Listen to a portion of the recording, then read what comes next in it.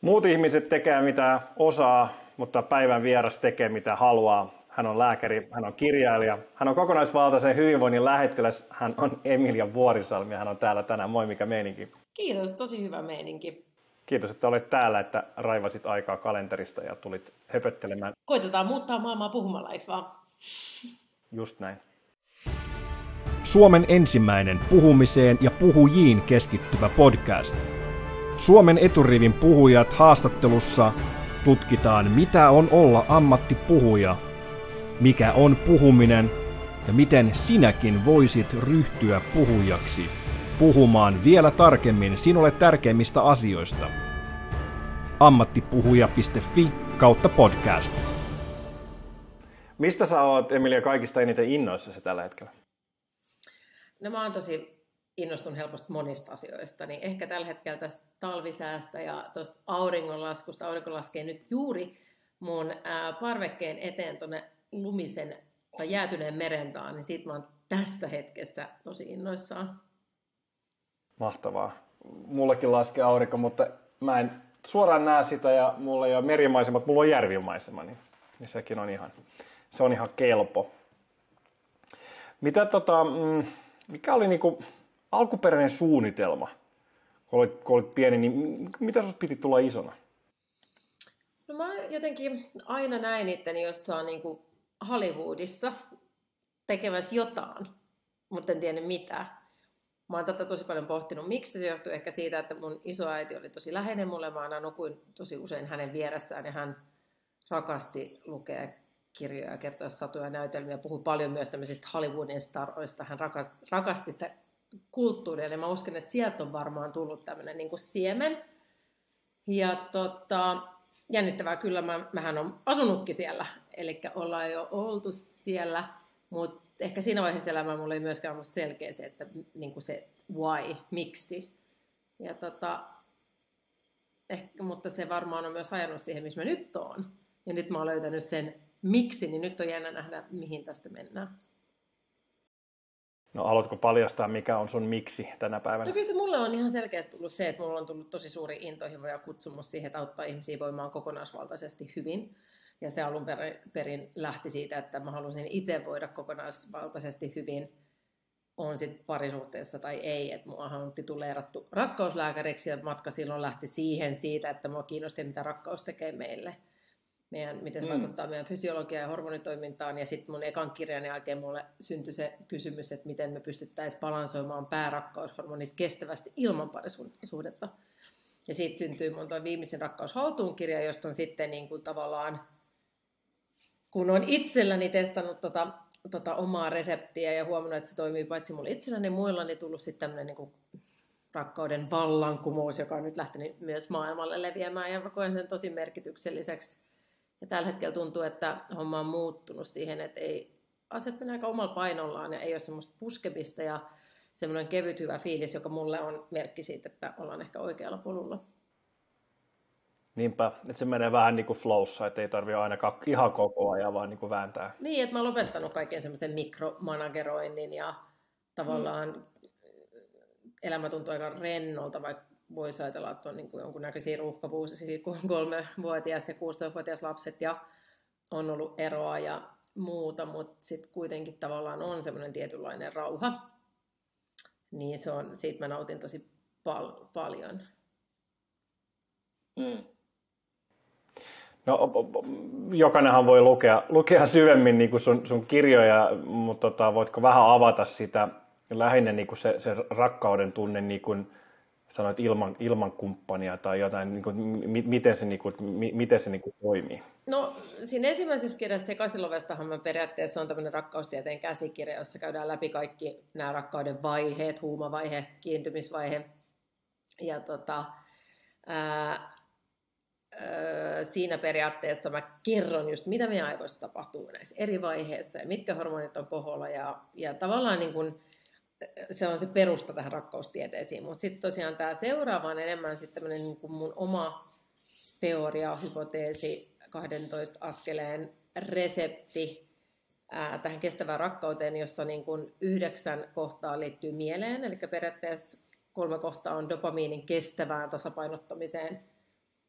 että periaatteessa meillähän on paljon nykyään noista hormoneista puhutaan ja puhutaan, että juo kahvia ja saat dopamiinia ja, ja tota, halaa lemmikkiä, läheistä saat oksitosiinia ja vietä aikaa auringonvalossa saat serotoniini, mutta mä halusin tavallaan mennä tästä vielä sit aika paljon syvemmälle ja miettiä, että mikä oikeasti on semmoista kestävää niin kun, ähm, näitä hormonia pitkäaikaisesti tasapainottava, joka oikeasti puskuroi meitä, kun on pimeätä tai tulee avioero tai ei ole lemmikkiä tahalata.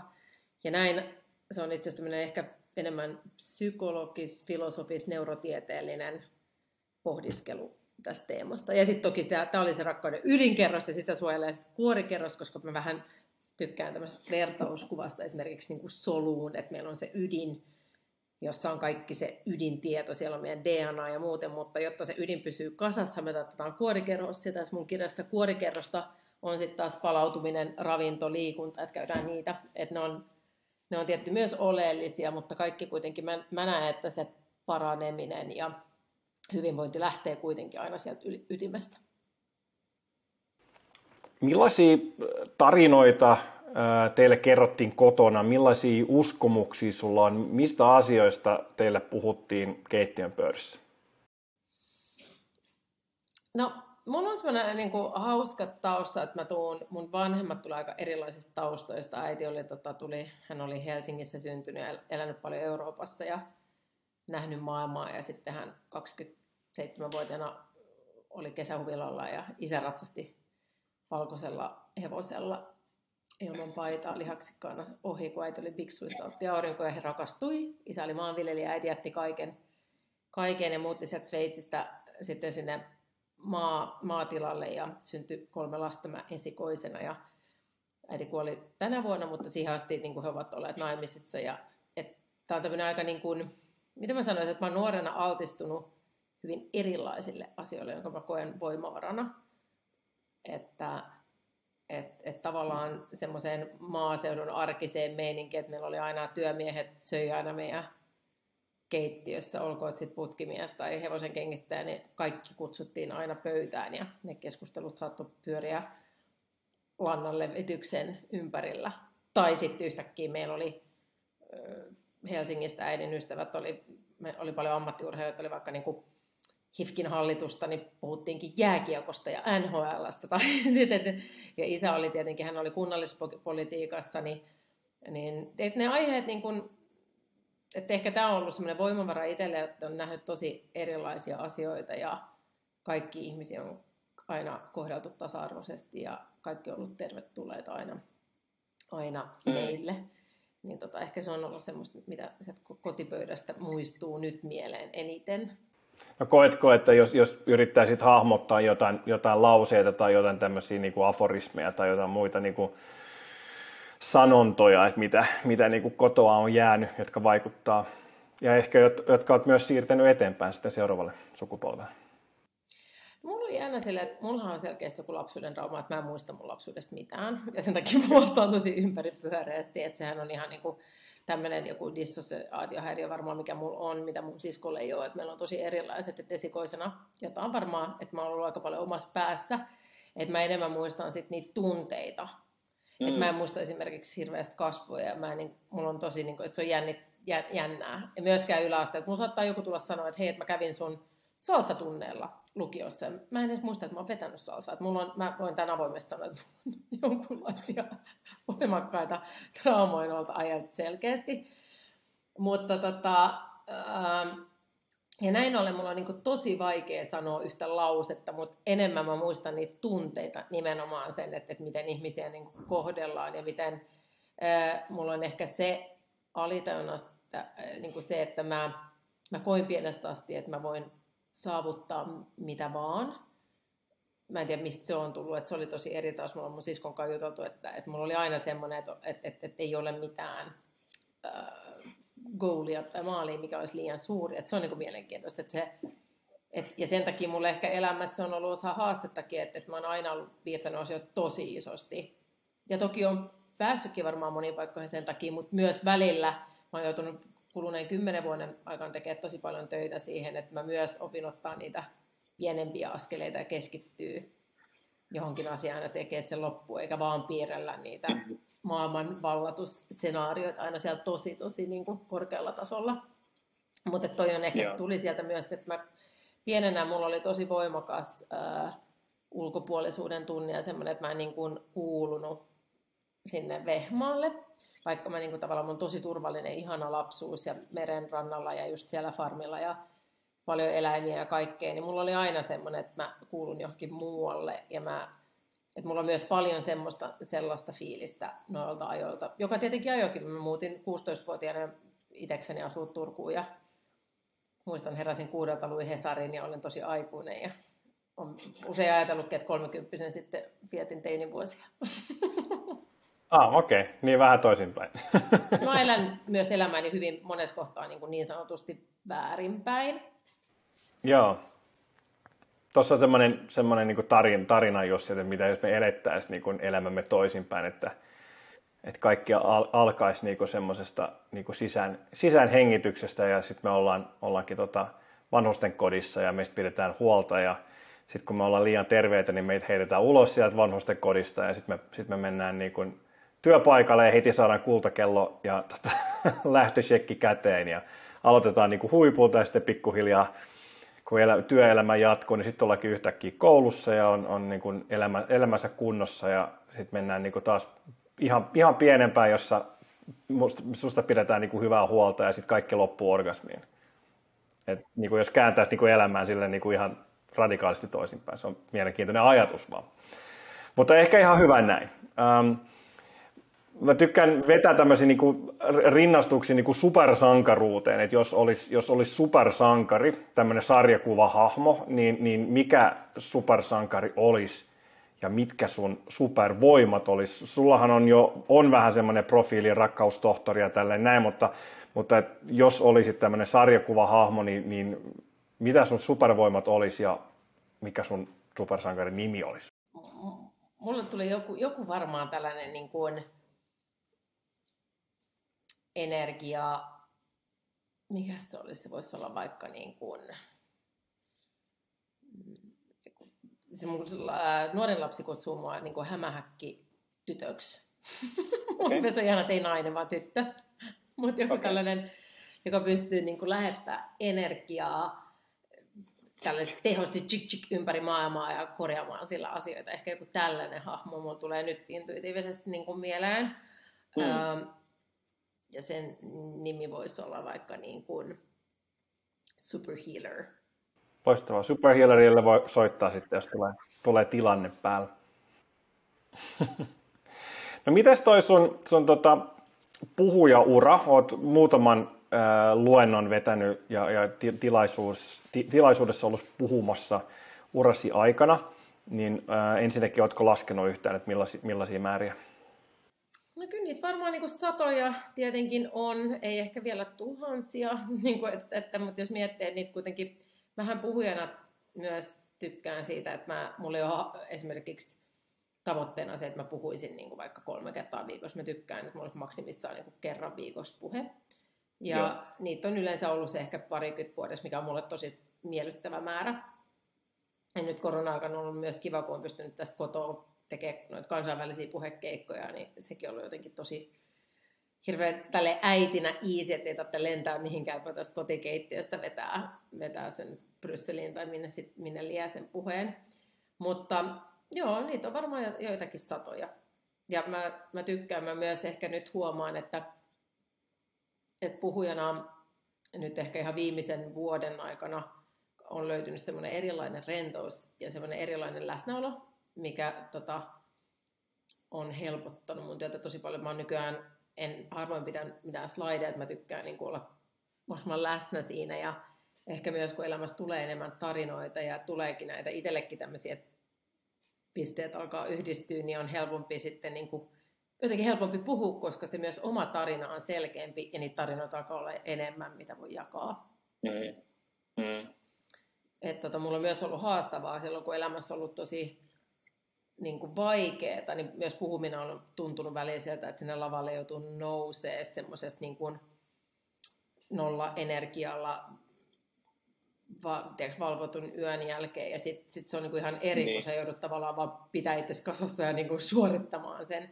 Mutta nyt viime aikoina mä oon, se on ollut enemmän semmoista, että pystyy niinku nauttimaan täysillä siitä puheesta. Ja silloin tietenkin, kun pystyy olla, on niinku itse mahdollisimman läsnä, niin pystyy olemaan muille läsnä ja, ja se energia on ihan eri, mikä siinä välittyy. Että se mun mielestä puhumisessa on niinku viime vuosina itselle ollut, ollut niinku tosi hienoa huomata, että se on niinku kehittynyt ja, ja toki niin kuin elämä on yhtä kasvua, niin varmasti tulee vielä kehittyä paljon, mutta semmoinen mailan puristaminen on tästäkin jäänyt ja sitten mulla on joskus ollut hirveästi niin kuin puhumiseen liittynyt välillä jännittämistä, mulla on aikoinaan ollut panikkioireilu, niin saattoi olla se puhuminen myös niin kuin oli ihan niin kuin fysiologisestikin stressaavaa ja nykyään sitten taas sekin on niin kuin jäänyt pois. Ää, niin tota, kaikki nämä on niin kuin tietenkin semmoisia, mitä usein ei puhuta, mutta mikä kanssa yllättävän moni puhuja kamppailee. Että niistä paietaan silleen. Ja sitten kun alkaa puhua, niin tosi monelle esiintyjille. Mulla tänään itse asiassa oli lounaalla yksi näyttelijäkaveri, niin hänkin sanoi, että melkein kaikilla mun näyttelijäystävillä on ollut vaikka paniikkioireilu lavalla. Ja se on niin kuin jännä, että on ammattilaisia, maan parhaita siinä duunissa, mitä tekee, mutta ehkä se myös kertoo siitä, että sit työstä välittää ja siihen liittyy niitä kasvuhetkiä ja silloin niin sitä kipuilee ja sitten me kasvetaan vielä paremmaksi. Mm.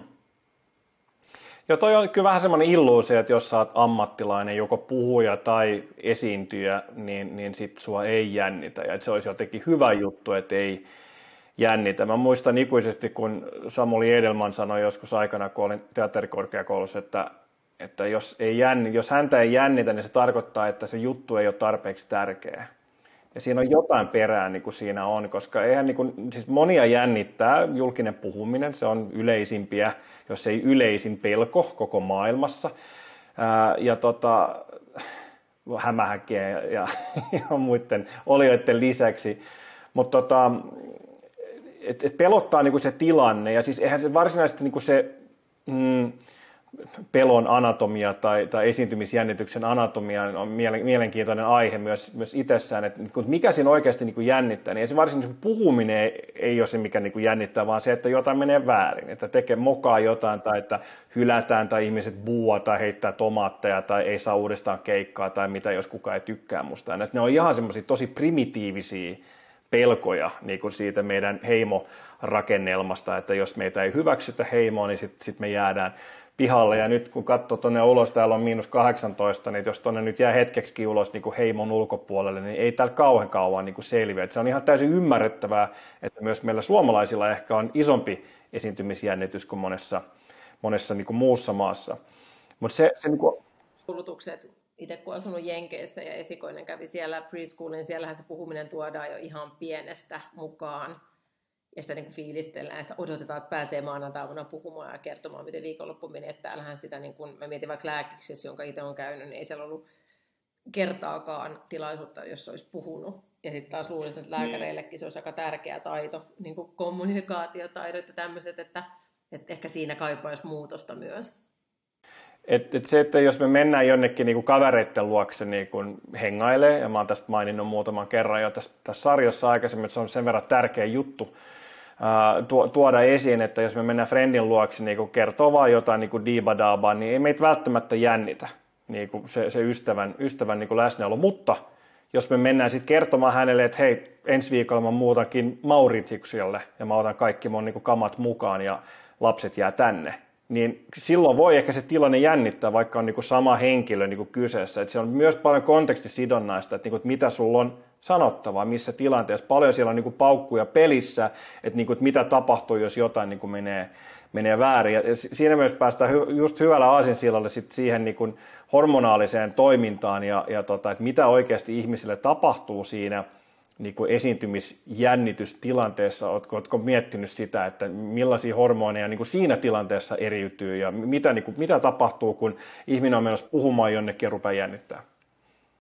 Niin no ensinnäkin me ollaan aina yksilöisiä, että se cocktail on aina vähän yksilöllinen. Ja sanoa myös, että se oli jännää joskus, kun mä First Beatin mittasin omaa, omaa tota, HRVtä esimerkiksi, niin mulle usein tämmöiset niin puhumistilanteet ja niin kuin, vaikka TV-juontaminen silloin, kun teki TVtä, niin saattoi olla palauttavia. Et jotenkin mulle se, että joutuukin keskittyä yhtäkkiä veikin, mutta semmoiset palautumisen tilaan. Mutta toki jos se jännitys iskee päälle, niin silloin meillä alkaa stressireaktio, sieltä tulee noradrealiinia ja kortisolia ja kehoa ja niin kuin siitä tulee periaatteessa niin kuin erilainen, ihan erilainen neurokemiakaalinen koktaili. Ja totta kai se niin kuin dopamiini on siellä mukana, kun me lähdetään, meillä on tavallaan kuin tavoite mennä vetämään se puhe ja me jännitetään sitä vähän, siihen liittyy riskiä ja tämmöistä, niin, niin, ja sitten kun me onnistutaan, niin tulee tietenkin endorfineja ja, ja tavallaan se opioidisysteemi palkinto antaa meille palkitsemista, meillä on hyvä olo, jos me tunnetaan onnistuminen, mutta just niin kuin serotoniinin suhteen se riippuu just siitä, miten se puhe menee. Eli tavallaan, että jos meidän puhe menee persettä, niin meillä usein sitten ei tuu sitä serotoniinia, meillä ei ahdistunut olo ja semmoinen, niin kuin, joka auttaa meitä korjaamaan ensi kerralla sit sitä, että me ei tehtäisi niitä samoja mokia. Jos meillä taas tulee semmoinen olo, että ihmiset taputtaa ja hurraa ja meillä tulee semmoinen, että hei meidän lauma, niin kuin sanoit, dikkaa meistä ja meidän ajatuksista, niin sittenhän se serotoniini nousee ja meillä on todella hyvä levonen olo, mennään kotiin, yleensä nukutaan hyvin. Mä usein puheen jälkeen just nukun hyvin, kun on tullut tasainen, mm. niin kun, että on saanut sitä energiaa liikkeelle ja sitten näitä hyvän hormoneita. Mutta tosiaan, että siihen liittyy niin moni tekijä, miten se puhe menee ja omasta mielestä ulkopuolelta, miten paljon me ollaan, niin kuin, me voidaan mennä mihin aikaan se puhe on, ollaanko me ylikierroksilla, miten väsyneenä me lähdetään siihen. Tavallaan se on aina yksilöllinen cocktail. Niin on. Se on, se on hyvin, hyvin mielenkiintoinen toi, että mitä kaikki siinä tapahtuu ennen kuin menee lavalle sitten sen lavan sen aikana ja sitten myös sen jälkeen. Opi välittämään viestisi vakuuttavasti tilanteessa kuin tilanteessa. Välitä viestisi vakuuttavasti verkkokurssi. ammattipuhuja.fi kautta kurssi. Uh, tuleeko sinulla joskus tämmöinen niin jälki, keikkamorkkis tai tällainen, mä kutsun sitä nimeltä PED, eli Post-Event Depression Disorder, jossa, jossa tota, kun sä oot tottunut siihen niin kuin hyvään fiilikseen, sä oot saanut niitä, luonut niitä hyviä hormoneja itsessäsi ja sit sitä ei yhtäkkiä olekaan seuraava päivä silleen, että mm, missä mä mistä mä saisin mun fiksi? No, joo ja ei, eivät mutta niin yleensä duuneihin, että sit kun mä huomaan, että kun vaikka semmoinen viikko, että on tosi intensiivistä ja makeita ja siistejä juttuja tapahtuu, niin sitten yhtäkkiä jossain vaiheessa tulee se, että mulla on semmoinen innostuja luonne. Nykyään, nykyään mä säätelen kyllä niin kuin sitä omaa, omaa innostusta ja, ja niin kuin pidän huolta, että mä meditoin ja otan niin isemmin, että mä en mene sinne niin kuin ylikierroksille, että se droppi ei ole niin suuri. Ja tosiaan naisille se kyllä liittyy paljon myös hormonikiertoonkin, että et taas kerran siellä on niin kuin paljon, mitkä siihen vaikuttaa, mutta on ollut, kyllä mä ton tunnistan, mutta ehkä enemmän nykyään, ähm, tai siis vähemmän nykyään siitä syystä, että on paremmassa tasapainossa. Että taas kerran, mm. että jos meillä on niin kuin kuormittava elämä muuten, ja sitten me vedetään puhe ja tavallaan niin kuin hirveät hait, niin sitten me tiputaan yleensä vielä alemmas, koska meillä ei ole se puskurijärjestelmä kasassa. Että tavallaan tätä voi myös puhua niin kuin energiakentässä, että jos meidän niin kuin omat energiat on tasa, niin kuin vahvat, niin me, me kestetään sitä haita ja meillä ei tule se krapula niin kovana, että se niin kuin elimistö on siitä niin kuin siitä kyllä ihmeellinen. No tuossahan on samoja ilmiöitä kuin mitä urheilijoillakin on, ja siis et, ethän sä pysty valmistautumaan niin kuin maratonia varten niin kuin silloin samalla aamuna. Et tietenkin silloin on merkitys, että miten sä niin kuin sinä päivänä, mit, millaisia rutiineja ynnä muuta, mutta kyllähän se valmistautuminen sitä kisaa varten niin tapahtuu jo viikkoja, kuukausia tai vuosia niin kuin etukäteen. Se on just nimenomaan kokonaisvaltaista ja pitkä jänteistä valmistautumista. Sen, sen sanoneena, niin on, kun olet menossa puhumaan ää, yleisölle, niin onko sulla jotain, teetkö jotain eri tavalla kuin niin sanotusti normaalina päivänä? No, tai en iltana? ehkä hirveästi, mutta mä vältän niin kun, sitä, että mä joisin enemmän kuin se yhden kupin kahvi, jos mulla on vaikka niin sanotaan aamukymältä 11 puhe, koska mä puhun tosi nopeasti. Mä nyt, nytkin hidastan varmaan niin kuin 500 prosenttia mun normipuhetta, niin sitten kun mä vedän sitä kahvia, niin mä väkisinkin se puhe vaan kiihtyy ja kiihtyy. Joo. Se ei niin kuin tavallaan sovi mulle, että se on ehkä semmoinen. Ja sitten toki, niin kuin, että jos mä olisin tosi väsynyt, niin mä nyt vetäisin jotain niin kuin megaheviä ateriaa jälkkärein, että mä niin kuin, ta, niin kuin, tavallaan nukahtaisin sinne lavalle. Et tietenkin niin kuin tuossa puhuttiin, niin se pieni jännitys, se noradrenaliini ja kortisolin, se auttaa keskittyä ja niin kuin, herättää meidät, vaikka olisi vähän väsyneempikin. Et senkin on huomannut, että joskus tullut, muista mä olin jossain Singaporen GPS katsoa formuloita ja bailattiin kolme päivää, oltiin bailattu ja sitten lensin suoraan johonkin puhekeikalle. Kyllä se puheen pystyy vetämään, niin kuin sä tiedät, että kun on puhunut kuitenkin aika paljon niin, tolleen, niin kuin ilman unia, mutta ei se ole, ei se ole kivaa. Et se on mm. silloin niin kuin erilaista, mutta et on, on tullut puhuttua erilaisista tiloissa – Mun nykyään elämäntavat on niin erilaiset, että usein ja mä nukun siis myös se, että mä huomaan, että kun just tämä, että mua ei enää jännitä, kun elämässä on ollut ehkä isompiakin haasteita kuin se lavalle nouseminen. Et se on ollut hyvä sanoa, että kun on ollut vähän kuormittavampia vuosia, niin ei jaksa jännittää jostain puhumisesta, eikä jaksa jännittää Joo. jostain TV-esiintymistä. Eikä, et, et, okei, totta kai hyvällä tavalla, mutta mä tarkoitan, että et ennenhän mä menetin yöunet puhekeikan takia, niin nykyään tosi harvoin. No, no miten sitten niinku isompi, isompi kuva, ähm, miten sä pidät huolta sun, sun fyysisestä ja, ja henkisestä hyvinvoinnista, jotka sä näet, että vaikuttaa sit siihen, että miten sä pystyt vetämään myös puhekeikkoja? No siis kyllä mä niin kuin aika pitkältä omaa kestävän rakkauden ja terveyden reseptiä pyrin noudattaa, eli tekee asioita, jotka luo mulle aidosti iloa ja niin kuin vetää paljon rajoja ja sanon paljon, paljon asioille ei ja mietin, että mitä mä oikeasti teen ja kenen kanssa mä teen, antaako ne asiat energiaa vai ottaa sitä. Näitä asioita mä hirveästi se, että mä edelleen uskon mun unelmiin ja vaikka turpa on tullut joissakin asioissa, niin edelleen en ole menettänyt niin uskoa ja semmoista niin kuin leikkimielisyyttä. Että se et, et vaalin näitä asioita tosi paljon, luovuutta vaalin, valkoista tilaa, eli sitä, että, että mä oon vaan paljon. Et jengi aina luulee, että mä oon tosi kiireinen, mutta mä oon tosi paljon kotona. Täältä näinkin, niin kuin, kyllä mä tuossa Tenniksessä kävin, mutta täällä mä oon niin hengailu aika paljon tämmöistä luovaa metatyötä ehkä tehnyt, ehkä en, mutta niin kuin, että mä en täytä päiviä niin sille, että mä vetäisin autopilotilla. Ja sitten mä oon tosi paljon mun ö, pelkoja työstänyt, mikä on ollut tämän mun oman kokonaisvaltaisen hyvinvoinnin kannalta tärkeää ja tehnyt myös kaikkia kehollisia harjoituksia ja kehollisia terapiamuotoja siinä, että mä oon saanut tavallaan niin kuin pinnalle semmoisia, mitkä olisi saattanut jäädä kuormittamaan ja, ja tota, olisi saattanut aiheuttaa jonkunlaista niin kuin oireilua, jos niitä ei olisi saanut ulos, että, että kun aina meidän kulttuurissa ei ole tilaa sille, että se suru ja katkeruus tai mm. viha tai mikä ikinä tunne sieltä pitäisi tulla, että se jääkin sinne, niin mä oon kyllä tehnyt paljon viime vuodet töitä, että mä oon saanut ne tunteet niin kuin ulos ja sitten tota, sit just niin kuin tämmöiset, mulle nämä mielenhallintaharjoitukset on tosi tärkeitä, kun mulla on niin semmoinen aina ollut tosi vilkas mieli ja aika vähän niin kuin nopea ja helposti on niin kuin all over the place ajatukset, niin sitten se, että mä niin kuin just meditoin kyllä ja varsinkin heti kun mä huomaan, että nyt niin kuin unet kärsii tai jotain, niin sitten mä, sit mä varsinkin pidän huolta, että mä alan tekemään sitä, niin saan ne paikoilleen.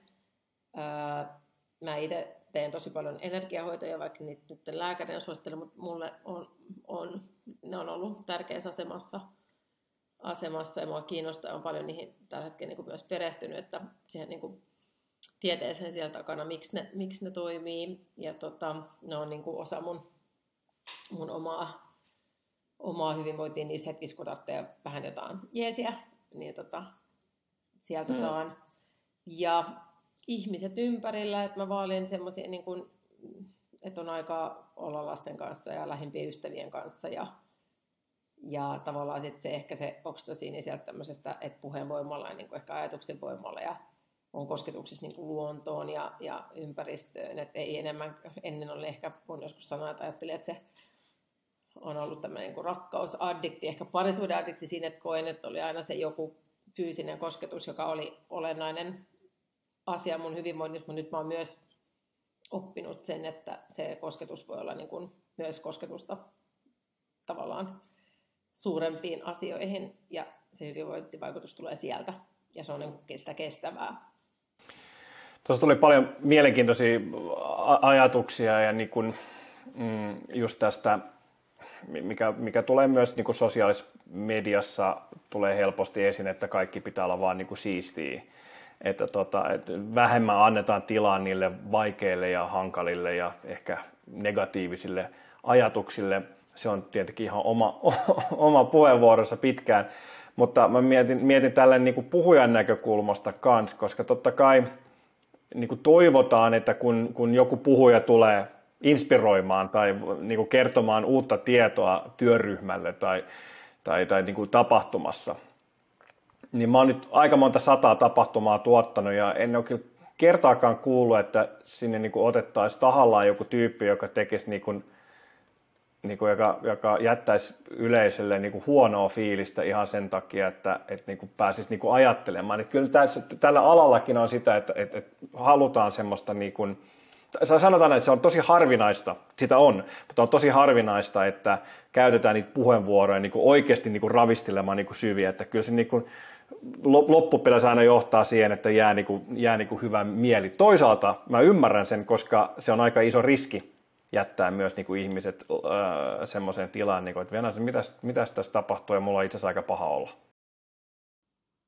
Niin, mutta ei se niin kuin, mä ehkä näen, että puhutaan niin kuin niistä asioista, että ihmiset herää siihen, että, että jos esimerkiksi huomaa, että toistaa jotain tiettyä negatiivista kehää, että sen pystyy pysäyttämään. Ja niin kuin, joo, et en tarkoita, että se harjoitus tehdään siinä puheen aikana, että me saadaan mm. kaikki oksentamaan sieltä jotain. Et, eikä se tarvitse aina niin kuin, tuntua edes pahalta, kun se tunne tulee, yleensä tuntee vapauttavalta.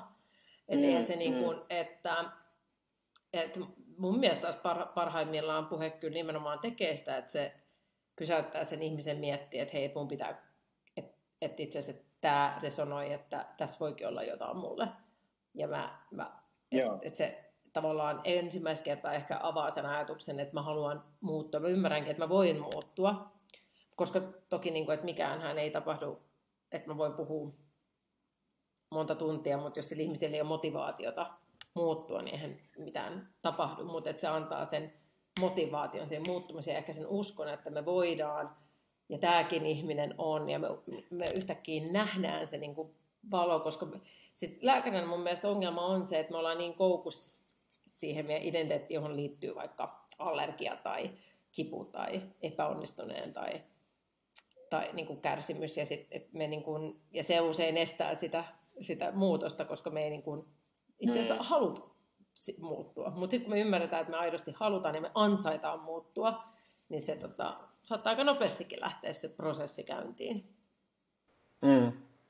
Mutta tuli vaan mieleen tuosta niinku puheen, ja tämä seuraava kysymyskin, että niin kuin, että miten rakentaa puhetta ja mikä se draaman kaari on. Itse kun on, on näyttelijä koulutukselta, niin on miettinyt paljon ja opiskellut sitä, niin kuin, että miten, miten draaman kaarta rakennetaan ja miten se niin kuin, tarina kehkeytyy. Ja etenkin jos katsoo Hollywood-leffoa, niin siinä on hyvin, hyvin selkeä niin kuin, struktuuri ja sitten lopussa näyttää vähän siltä, että nyt menee huonosti, mutta sitten sankari löytää uutta virtaa ja sitten taas kaikki menee niin kuin, hyvin. Ja tosi harvoin näkee, onhan näitäkin elokuvia, jotka jättää silleen tyhjän päälle, että kun 200 ihmistä lähtee ulos elokuvateatterista, niin on silleen, että mitäs tässä äsken tapahtui. Ja teatterissa myös joitain klassiset tekstit on silleen, että, niinku, että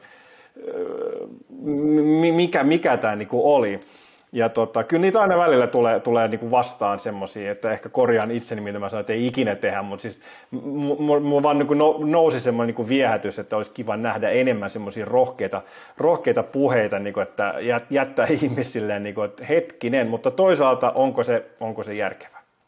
Niin, tuo on vähän sama kuin jos vaikka mä puhuisin näistä asioista ja sitten se loppuisikin silleen, että itse asiassa mä voin edelleen tosi, tosi huonosti, vaikka mä teen näitä asioita, mutta mä silti toivon, Ai just näin, aivan. Jollekin muulle tämä toimisi niin kuin tyyli, että et siis ihan... Tai että jos rahan varallisuusvalmentaja sille, että mä oon sijoittanut 15 vuotta, mutta ei mulla sentin jeniäkään vielä pankkitilillä. Niin, niin ja tätähän tapahtuu. Niin kuin just toi, toi niin kuin varallisuusvalmennuskin on semmoinen maailma, että mä tiedän paljon valmentajia, kenen yhtäkkiä onkin. Ja sitten siinä on hirveä, ja tämähän on se niin kuin, nimenomaan se ehkä paine siinä, että et mm. sitten, että et, et, kun puhuttiin tuossa aluksi, että milloin me oireillaan, niin joo, lauman hylkääminen, mutta miksi, niin ehkä se miksi tulee just siitä, että mä ajattelen, että me paljastutaan, että me ei tiedetäkään sen joo. enempää kuin muuten. Mä luulen, että se, sen takia se puhuminen on stressaavaa monesti ja jengi oireilee, koska, koska me ikään kuin puhujina asetetaan korokkeille ja muiden yläpuolelle ja me kerrotaan jotain, mutta totuus on sille, että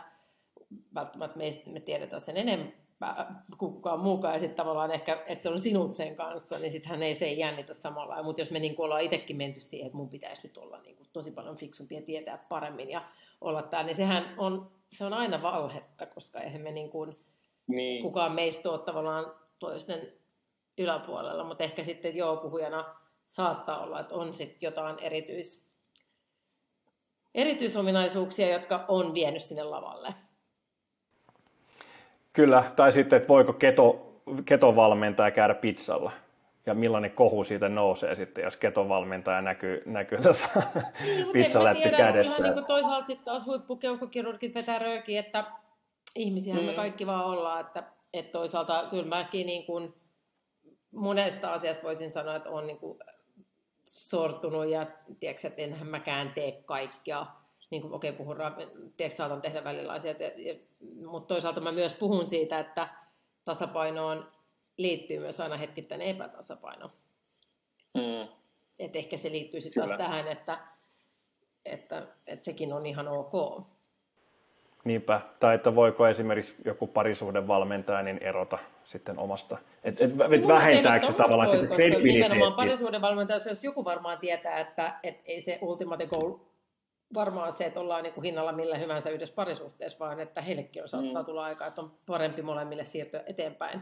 Ja tämä on myös niin kuin mielenkiintoista aina, kun jostain tulee, että kuka on niin kuin onnistunut ja epäonnistunut parisuhteessa. Esimerkiksi niin kuin on niin huvittava ajatus, että kun vaan on siinä yhdessä pitkässä on niin onnistunut ja muut on epäonnistuneet, että kun eihän se kaikki tietää, että eihän se niin mene. Mä tavallaan ehkä mun mielestä onnistuminen tulee siitä, että me opitaan ja kasvetaan niistä kokemuksista ja tavallaan, että, että parisuhteenkin tarkoitus kuitenkin on nostaa energiaa antaa. Ja sitten jos mennäänkin siihen, että mm. molemmilla se ottaa, niin mitä onnistumista siinä sitten, jos siinä kärvistellään.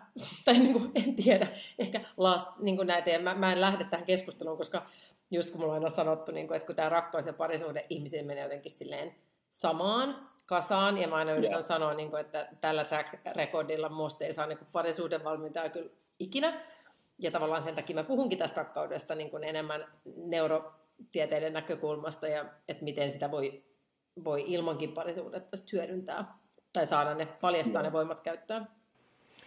No muistatko vielä, milloin sä pidit sun ensimmäisen puheen ihan niin kuin yleisölle ja jos se oli sellainen, mistä sä et saanut rahaa, niin mikä oli semmoinen, kun sut eka kerran palkattiin puhujana jonnekin? Mä kerron tässä mun muisti ongelmasta, mutta ootas nyt. Milloin mä oon puhunut? Siis mulla on kävi esimerkiksi sillä, että mä oon puhunut tästä rakkauden niin kuin kestävästä systeemistä niin kauan, että mun ei pitänyt kirjoittaa tuota kirjaa, koska se oli mulle niin tuttu, mutta sitten mä tavallaan tajusin, että eihän sitä ole kirjoitettu vielä. Että mun puhujat alkoi niin. sanoa, että missä se kirja on. Että se on mennyt niin päin, että mä oon puhunut tästä paljon ennen jo kirjaa, ja sitten mä vasta kirjoitin kirjan, että mä puhun vieläkin siitä tavallaan, että se on jännä, jännää. Mutta tota, ensimmäinen puhe, hitsit, että mä mietin, että siis mä en kyllä nyt pysty sanoa, että mikä kuka mut pyysi ja minne. Et varmaan se mm. niin lähti noista feromenijutuista, kun mä tein, olin tehnyt TVtä, niin musta alettiin kysyä näistä. Ja sitten varmaan sen sekaisin kirjan myötä aloin puhua niin kuin siitä rakkautieteestä. Ja olisiko se ollut sitten varmaan tuolta aikoinaan Speakers Forumilla joku, varmaan joku elyn, niin kuin joku tämmöinen perussetti, joku elytilaisuus ja puhun rakkaushormoneista. Jotain tämmöistä varmaan se oli. No entäs onko sulla nyt jotain tavoitteita puhujana? Onko jotain jossain tietyssä tapahtumassa, missä sä haluat puhua, joku tietty aihe, mihin sä haluaisit vielä kehittyä, tai joku tietty konteksti, no, uh, missä, joo, missä siis sä haluaisit tykkään, puhua? Että mä haluan puhua niin kuin entistä enemmän niin kuin tällaisella niin kuin fiiliksellä ehkä niistä omista tarinoista. Mä, mulla on muutama semmoinen uh, uusi juttu työrintamalla menossa, mitä mä näen, että ne tulee olemaan se mun tulevaisuus myös puhujana, mutta mistä mä en voi vielä puhua, kun on vähän silleen niin kuin okay. salaisia. Uh, mutta se on kiva, kun mä näen niin kuin, tavallaan, että minne se on menossa ja mä näen, miten se yhdistyy tähän, mitä mä tähän asti on tehnyt, mutta tavallaan, että mä pum, se menee sitten taas next levelille. Että mä myös tykkään uudistua, että mä oon itse sellainen, että mä kyllästyn, että mä puhuisin tätä samaa. Niin sitten mä näen, että tämä on se sit seuraava asia, johon mä alan niin kuin menemään ja sitten integroin nämä, nämä kaksi maailmaa yhteen. Ja sitten kyllä mä näen, että ehkä niin kuin maailmalla haluaisin puhua, mutta just, että et, et, äh, enemmän silleen quality, not quantity-maisesti, että muutamia mulla on semmoisia äh, paikkoja, mitkä on mun itsellä semmoisia ehkä niin kuin ha- haaveita. Mun mielestä voisi olla makeet puhua äh, tuolla Davosissa, siellä Economic Business Forumissa. Ää, ja mä näen, että seuraavan keissin kanssa, mitä mä teen, se sopisi sinne tosi hyvin. Että tämmöisen niin hyvinvointi, että, että se on semmoinen, mikä voisi olla mielekäs. Ja paljon siis makeita puheita on saanut tehdä. Mä oon tosi kiitollinen siitä, että on niin kuin hienossa seurassa aina tulee sellainen olo, että, että miksi mut näin? Nytkin on tullut semmoisia muutama keikka, että on ihan silleen, että että pitää antaa itselleen high five, että johonkin on päästy, kun on näin upeiden puhujien kanssa samalla lavalla, että tulee aina vähän semmoinen niin huijarisyndrooma olo, että miten mä oon tässä, mutta sitten aina miettii, että no ehkä sen takia, että itselläkin on aika niin oman näköinen polku ja tota, se niin oma tarina alkaa olla kanssa aika vahva ja sitten mä näen, mitä itsekin niin kuin sanotaan, että, että kun puhujana sä tiedät, että on usein niin halutaan eri kulmia, niin mullakin alkaa olla aika paljon niitä, että kun on niin kuin näytellyt ja annat tarinoita, että miten sinnekin ajahti, niin ne on niin kuin, että se on kivaa, että, että, että, että itsekin alkaa ymmärtää, että, että niitä tarinoita tosiaan on, mitkä on mielenkiintoisia, miten ne syntyy ja miten sinne ajautuu. Ja huomaa, että ihmiset niin kuin saa niistä inspiroitua paras palaute.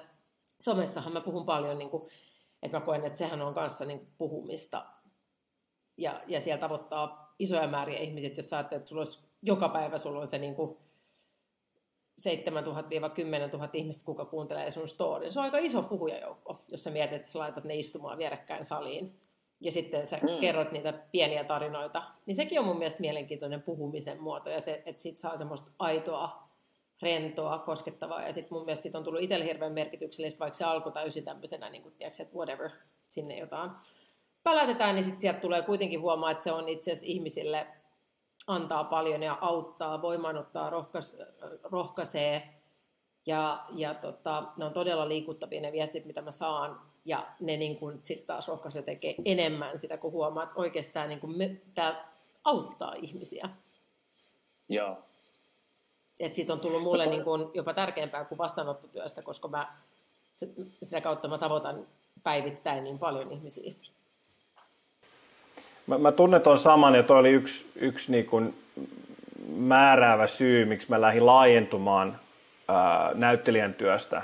Että siis tietenkin Shakespearein ja Chehovin tekstit ja elokuvat ja TV ja näin, niin pystyy niin kuin, sillä, sillä tavalla pystyy niin kuin auttamaan ihmisiä, mutta ne on aika abstraktilla tasolla ja mä mietin silloin joskus myöhästeininä, että et, et, eikö näistä asioista voisi puhua niin kuin suoraan niin kuin niiden omilla nimillä. Et sen sijaan, että menee neljä tuntia siihen, että sanotaan, että hei, all you need is love, niin sitten me voitaisiin puhua niin kuin niistä niin kuin suoraan. Ja se oli yksi, yksi niin kuin syy, miksi mä lähdin, lähdin niin kuin laajentumaan tähän, tähän niin kuin maailmaan.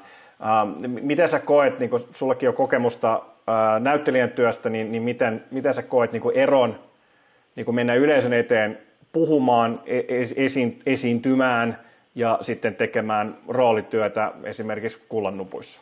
No, mä nautin tosi paljon siitä, koska Jasmin saa, saa sanoa paljon sellaisia asioita, mitä mä en voisi, mutta mitä mä haluaisin.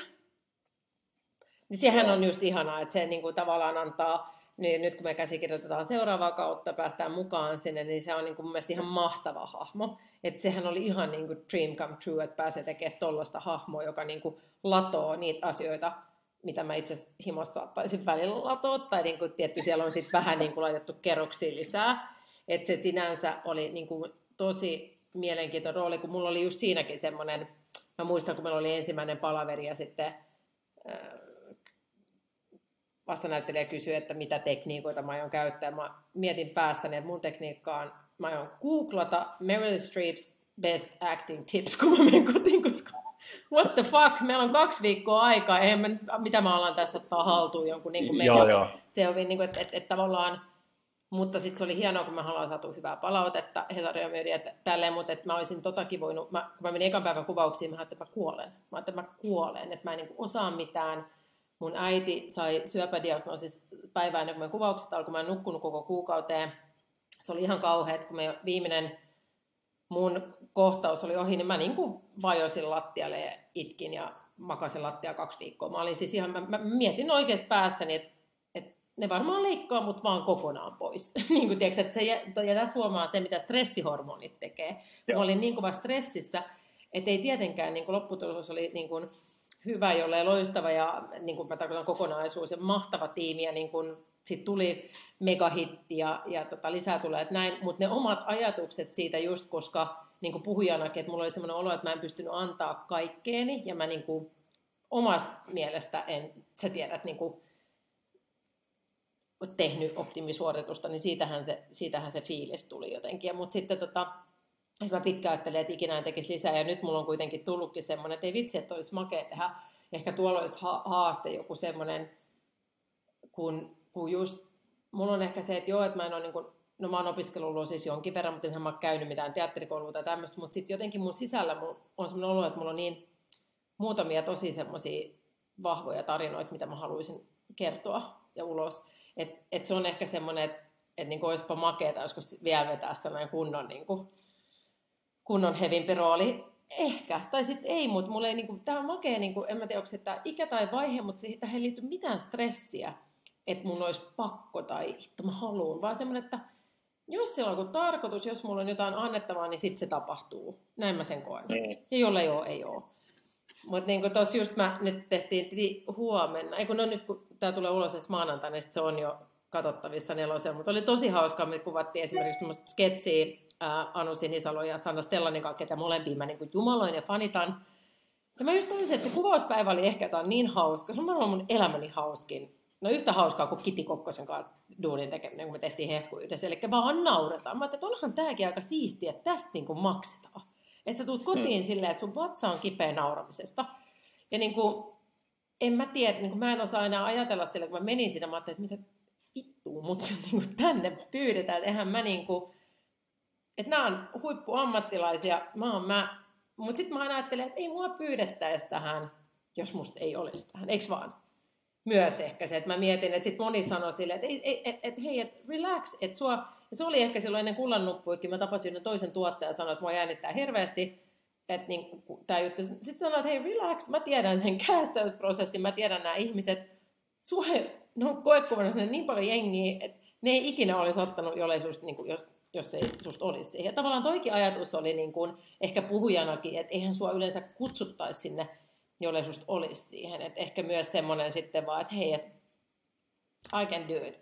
Ja just niin kuin, jos mä mietin, kun, kun aikoinaan, kun mä kiinnostin näyttelemään paljon, mähän silloin Losissa oikeastaan ajattelin, että mähän olin, olin ajatellut, että mä en halua edes valmistua lääkäksi, että mä halusin vaan näytellä.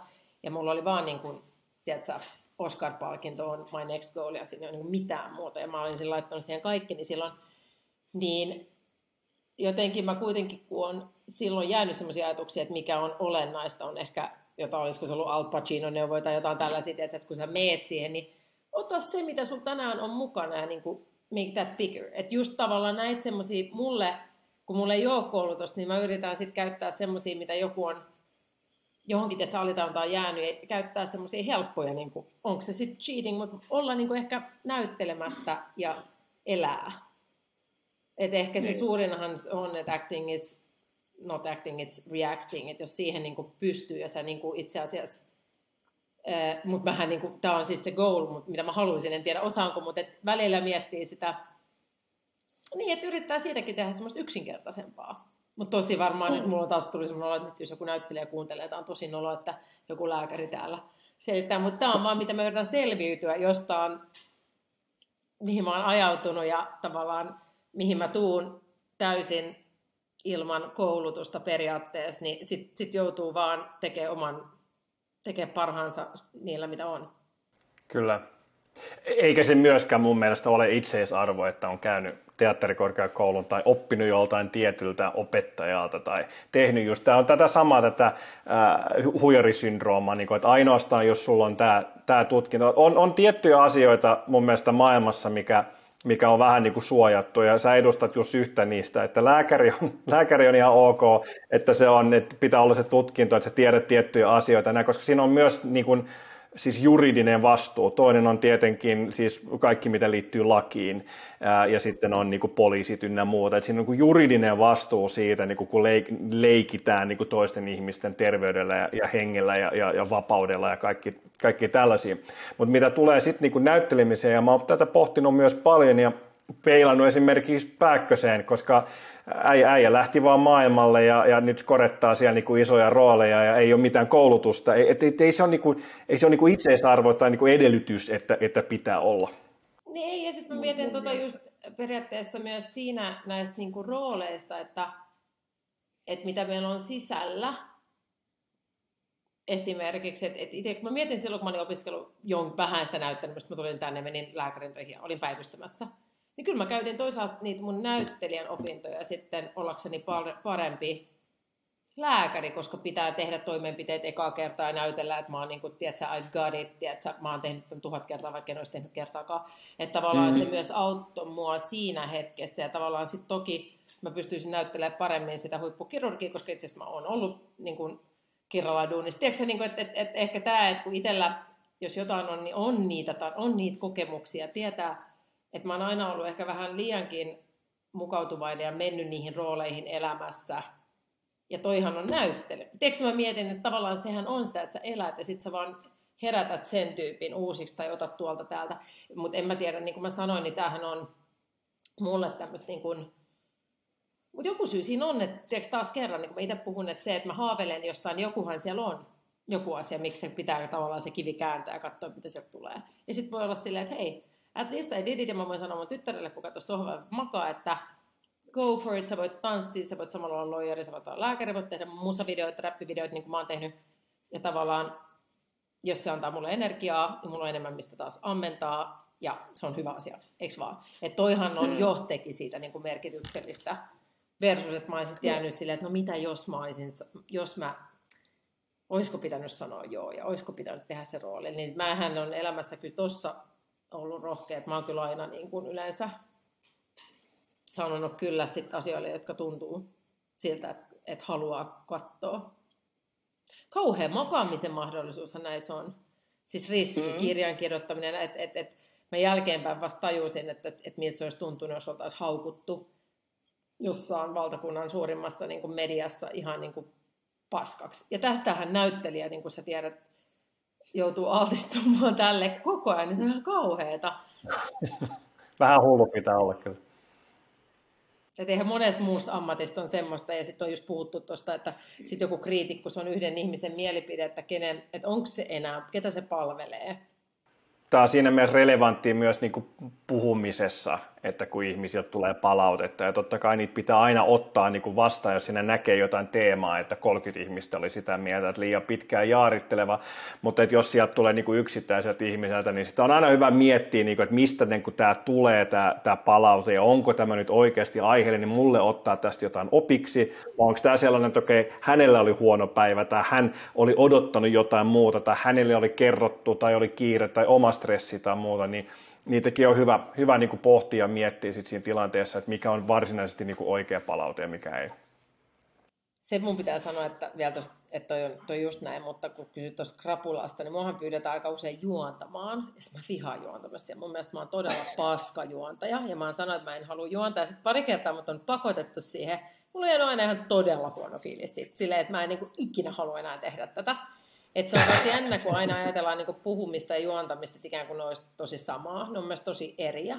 Tai mä henkilökohtaisesti, ja sitten että aina ajatellaan jotenkin, että no juontaminen jotenkin, että se olisi ikään kuin se olisi helppo. Mun mielestä on tosi vaikeaa, on hirveä niin kuin kunnioitus näitä huippujuontajia kohtaan, koska tietää, että siinä, kun sä oot ammattilainen, sä oot ammattilainen. Ja se on taas semmoista, mitä mä oon päättänyt, että se ei ole mulle esimerkiksi semmoinen, missä mä haluan kehittyä.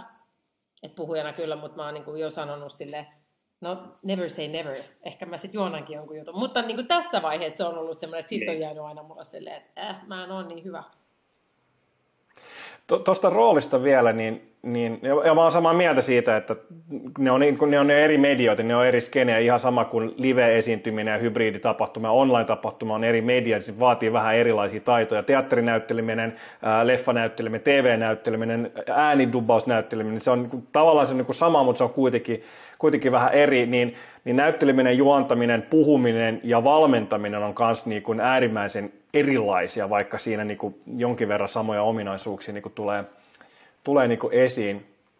Meidän miettii vaan sitä, että ähm, niin noista rooleista, ja, ja mä oon samaa mieltä sun kanssa siinä mielessä, että äh, ne roolit niin kuin antaa niin kuin mahdollisuuden niin kuin puhua just niin kuin sanoit asioista, jotka saattaa olla ne asiat, mitkä meillähänkin on monta roolia, meillä on monta tasoa, meillä on eri hahmoja, mitä me esitetään niin sanotusti elämässä.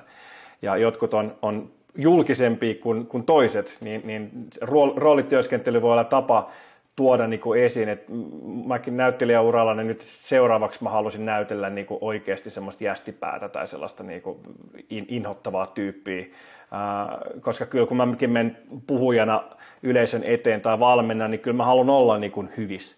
mä haluan välittää hyvää fiilistä ja, ja, ja mä uskon kuitenkin positiiviseen ää, energian välittämiseen ja sen parantavaan voimaan ja näin, ja mä haluan niin kuin levittää sieltä niin kuin, tiedätkö, heittää paskaa niskaan niin kuin jengille ihan vaan sen takia, että mä, joskus tulee tietenkin, pitää niin vähän ravistella sille, että hei, mutta niin kuin isossa kuvassa niin kyllä mieluummin sitä niin kuin hyvää fiilistä. Mutta mä muistan, kun mun, mun proffa Teakin sanoi joskus, kun mä kysyn sillä, että voitko sä esittää, niin kun, meillä on semmoinen taide- ja etiikka-niminen kurssi, niin, niin siinä ruodittiin sitä, että, että voiko niin kuin näyttelijä esittää pahista ja millä, niin kuin, millä ajatuksella. Ja hänellä oli tämmöinen niin moraali siinä, että, että hän voi esittää sitä pahista, kunhan saa, se pahis saa palkkansa niin kuin lopussa. Ja yleensä hänkin siis tarinoissa niin, niin paha saa palkkaansa niin kuin lopussa, Uh, mutta on tietenkin myös hahmoja ja näyttelijöitä, jotka esittää sellaisia hahmoja, jotka ei saa palkkaansa, vaan niiden funktio on vaan olla niin kuin se, se, se pahis siinä tilanteessa. Niin, niin on mie- mielenkiintoista kyllä, niin kuin, että se, se rooli antaa sulle sit niin kuin, uh, mahdollisuuden tutkia myös sitä omaa pimeyttä, sitä omaa, omaa niin kuin heikkoutta, mitä meillä kaikilla ihmisillä kuitenkin on. Se on totta. Että se on mie- mielenkiintoinen kulma. Ja jotkuthan tekee sitä, että niillä on stand-up-hahmo tai, tai niin puhuja-hahmo on hyvin erilainen sitten kuin mitä ne on niin oikeasti. Että joistakin tulee niin isompia, kun ne tulee lavalle, ja toiset taas tulee, tulee pieniä, ää, pienempiä. En tunne henkilökohtaisesti, mutta olen ymmärtänyt, että esimerkiksi Jordan Peterson on sellainen, että kyllähän ihan tahallaan vähän provosoikin siinä niin lavalla, että tietenkin puhuu paljon aitoa, mutta siinä on, siinä on vähän semmoinen niin provokatör niin kuin mukana vielä siinä niin kuin ro- roolina niin kuin päällä. Ja tämä on myös tämä jenkkienergia, niin kuin kaikki Tim Robbinsit muut, että hypitään trampoliinin ja saadaan se, mikä ehkä Suomessa just ei toimisi. Että tavallaan mä huomaan sen, että mm. mä esimerkiksi puhun tosi eri energialla, jos mä puhun englanniksi tai suomeksi, koska mulle se englannin kieli mun tulee tavallaan se losimina, kuka oli vielä niin kuin, Joo tiedätkö, vielä rohkeampi ja outgoing ja ehkä itse varmaan sellainen jenkimpi. Että tavallaan, että se on jännä, miten heti se niin kuin, oma puhekin vähän muuttuu, kun kieli muuttuu. Joo. Kyllä. Ehkä niin kuin, mm, Su- Suomen, Suomen niin kuin mittakaavassa, niin, joka on onnistunut aika hyvin siinä kuitenkin olema, ol, niin kuin olla olematta liian iljettävä, on, on Andrew No Shaker, joka on hyvin epäsuomalainen, mutta siinä tavallaan tuomalla myös sen, sen, sen niin kuin Jenkki- tai Kanada-meiningin lisäksi, niin tuomalla sitä niin kuin haavoittuvaisuutta ja semmoista niin kuin aitoutta, niin on pystynyt voittamaan sitten suomalaiset niin kuin puolelleen. Et vaikka hän on siis hyvin iso, niin sitten samalla siinä on semmoinen tietty nöyryys, mikä, mikä niin kuin toimii, koska jo monet, monet jenkkipuhujat, niin me ollaan viety siis ihmiset just Tony Robbinsin tapahtumiin ja tuonut hänen kouluttajia tänne näin, ja se on hyvin selektiivinen porukka suomalaisista, jotka diggaa siitä. Useimmat on silleen, että ei, ei liikaa, ei, ei pysty. se, on, se on mielenkiintoista. Siitä puheen ollen, niin mä aikanaan sain ins, tosi paljon inspiraatiota, kun mä kävin ekan kerran Tony Robbinsin tapahtumassa, ja ja tota, hänellä on semmoinen triadi, joka on niinku pohjana, pohjana niinku omille valmennuksille, että kun sä muutat sun fysiologiaa tai kun sä muutat sun, ähm, sun, sun fokusta tai sä muutat sun puhetta, joko sitä mitä sä puhut ulospäin tai mitä sä puhut itsellesi, kun sä muutat jonkun niistä, niin sä muutat kaiken. Niin tämä on niin semmoisen ydin, ydin niin valmennus, mitä Robinsilla on, niin, niin tavallaan siitä inspiroituneena niin on kehittänyt ammattipuhujalle tämmöisen oman triadin, oman kolmion, joka koostuu substanssista, Eli se on se sisältö, mikä sulla on. Se on sitä tutkimusdataa tai sitä niin kuin koulutuksen mukana tuomaa informaatiota ää, eri hormoneista ynnä muuta. Sitten sulla on ää, subjektiivisuutta, joka on sitä sun om, niin kuin omia kokemuksia, omia kertomuksia, omia tarinoita, omia perspektiiviä. Ja sitten on show-elementti, joka on sitten presentaatiota, sitä ulosantia, niitä ehkä rooleja, musiikkia, hattuja, mit, mitä käyttää, sitä tapaa, että millä tavalla sä tuot sitä sitä niin kuin, ö, viestiä sun katsojille. Jos sä tälleen roolipelimaisesti laittaisit itsesi puhujana johonkin niin kuin kohtaan ää, tätä, tätä kolmiota, niin mihin kohtaan sä itsesi laittaisit? Mitkä on sun vahvimmat puolet ja mitkä on sellaiset, mitä sä haluaisit kehittää enemmän? No ehkä mulla, kyllähän mä periaatteessa tällä hetkellä se tiede ja se omat tarinat, ne on niin kuin molemmat aika yhtä vahvoja. Ajattelen vähän ehkä yleisesti kumpaan laitetaan niin fokusta ja sitten tavallaan se show-puoli vähän on semmoinen Et mä en esimerkiksi käytä tällä hetkellä ollenkaan slideja, koska mulla ehkä mun goalit on siellä niin high, että mä haluaisin, että sitten olisi vähintään tuoksut ja niin kuin fireworksit ja kaikki, että mä jaksaisin, tai sitten jotain niin kuin tosi, joku muu tekisi täysin next level jutut, jotta se niin kuin toisi jotain lisää. Että se, siellä mä oon ehkä niin kuin, he, he, sinänsä heikoilla, mutta toisaalta mä oon kääntänyt sen niin, että kun mä itse vaikka jossain tuolla MBFS katsonut puheita, niin mua itse, itseni on vedonnut eniten ne tosi yksinkertaiset läsnä olevat puheet, missä ei ole mitään muuta kuin... Ja mä huomaan, että se puhujana on mulle helpompaa, kuin, että mä pystyn täysin keskittyä yleisöön ja ole siinä semmoisessa flow että mulla ei ole mitään, että mä pitää miettiä, että milloin vaihtuu slaidi tai tulee näin. Toki mä tiedän, että monet käyttää sitä tukena. Että jos meni sekaa kertaa ikinä puhuu, niin se, että se on hirveän helppoa, että sulla on ne, niin kuin tiedätkö, koko ajan. Se, pahimmillaan sä tiedät, niin kuin se vanha-aikainen malli, että luetaan, luetaan suurin piirtein sieltä. Mutta jotenkin mä niin kuin, että toi on semmoinen kysymys, mikä mulla itse, itsellekin on vielä vähän avoin, että mikä on se optimi, tiedätkö, että olisiko se, mitkä olisi se mun, mikä olisi se mun optimi show. Että tällä hetkellä mä oon mennyt siihen enemmän siihen, tiedätkö, niin kuin less is more juttuun, että mä pidän sen tosi Joo. simppelinä, pyrin olemaan hetkessä ja tuomaan sen tarinan ja sen tieteen ja niin kuin ne pointit ja antaa ihmisille kysymyksiä, joiden, äh, joiden tota, ääreen, ääreen niin kuin pysähtyy hetkeksi ja jotakin ehkä käytännön harjoituksia näin, mutta tosiaan mä ei ole mitään kummempaa showta, että se on niin kuin, tiedätkö, stage ja mikki ja minä. Et, että tota, et sinänsä nämä kaksi on mulla ne vahvuutet ja tämä häläpälä niin kuin mm. valot ja tuulikoneet ja, ja slaidit ja tuoksut, niin se on tällä hetkellä niin kuin minimoitu. Ja se vaan saanut kyllä kiitoksia paljon, varsinkin kun tehnyt näitä etäpuheita, kun jengi kattelee Teamsissa koko ajan kaikkia graafeja juttuja, että periaatteessa sit sä oot vaan läsnä.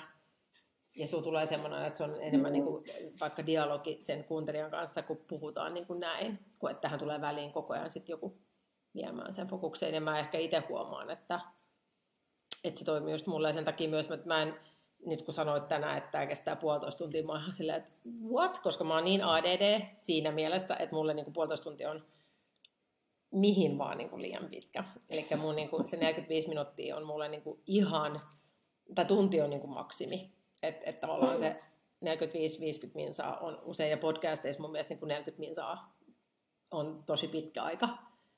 Mutta se on just se, että kun mä itse, ehkä se on myös se elämäntilanne, että ei ole, että haluaa aina sen, sen niin kuin, tiedätkö, että on maksimissa just se 45 min saa kuunnella tosi harvoin puolitoista tuntia johonkin podcastiin. Joo. No nyt me ollaan jo puhuttu yli tunti. Tämä on mennyt ihan nätisti ja tota, me ollaan katsottu noita meidän tilastoja, niin, niin jengi katsoo yllättävän niin kuin sinnikkäästi, tai siis et halu, halu kuulla, niin siksi tämä onkin vähän ehkä venynyt tässä pikkuhiljaa, koska on aika paljon asiaa, että tämä on vähän tämmöinen syvä, syvä sukellus. Ehkä myös meidän, meidän kuulijat on sitten valikoitunut sen, sen perusteella, että tullut sellaista palautetta, että ihmiset tekee muuta tässä samalla ja siivoo ja tiskaa ja auton matkalla ynnä muuta, että, että on sitten myös vähän semmoista viihtelispuolta, mutta tietenkin yritetään pitää tämä, tämä niin kuin sisältöpuoli tässä, äm, tässä järjestyksessä. Jokainen meistä tekee presentaatioita tavalla tai toisella työssä tai elämässä. Opi sinäkin tekemään parempia, jopa täydellisiä presentaatioita. Täydellisen presentaation luomisen verkkokurssi ammattipuhuja.fi kautta kurssi. No millä tavalla sulla tulee keikkaa? M- mitä, mitä reittejä pitkin sulla tulee, tulee keikkaa? Aika paljon mulle tulee suoraan mulle tai sitten mä oon tuolla MySpeakerilla, että he, he, jonkin verran myy. Mutta myös tietenkin nykyään kun on somessa paljon, niin tulee jonkin verran mm. niin niitä suoraa, suoria yhteenottoja, jotka sitten osaksi mä siirrän sinne tai, tai tota, että periaatteessa nyt mä oon ollut tämän vuoden, tämän vuoden siellä. No miten sä, miten sä suhtaudut niin kuin hinnoitteluun? Tämähän on niin kuin kivaa puuhaa ja näin, mutta tämä on myös bisnestä, niin, niin millä tavalla sä hinnoittelet itseäsi ja onko, onko olemassa niin kuin erilaisia hintaryhmiä tai asiakasryhmiä riippuen niiden ää, maksukyvystä, onko erilaisia tilaisuuksissa niin kuin eri hinta vai mit, miten se bisnesmalli toimii sulle? No se on ehkä lähtenyt enemmän tuolta, niin kuin noi ketkä myy on se asettu, mutta sitten toki mä nyt on huomannut sen, että että onhan se niin kuin kaikessa, sanotaan vaikka somessa ihan sama kampanjoissa, että, välillä, että jos, niitä, jos, olisi, niin kuin jos itse myy, niin sitten tietenkin se hinta on korkeampi, kun ne on välissä. välissä ketään, mutta tota, mä yleensä luotan noihin ammattilaiset mietitään, että mikä on se tavoite, että mikä on ns. oma minimihinta.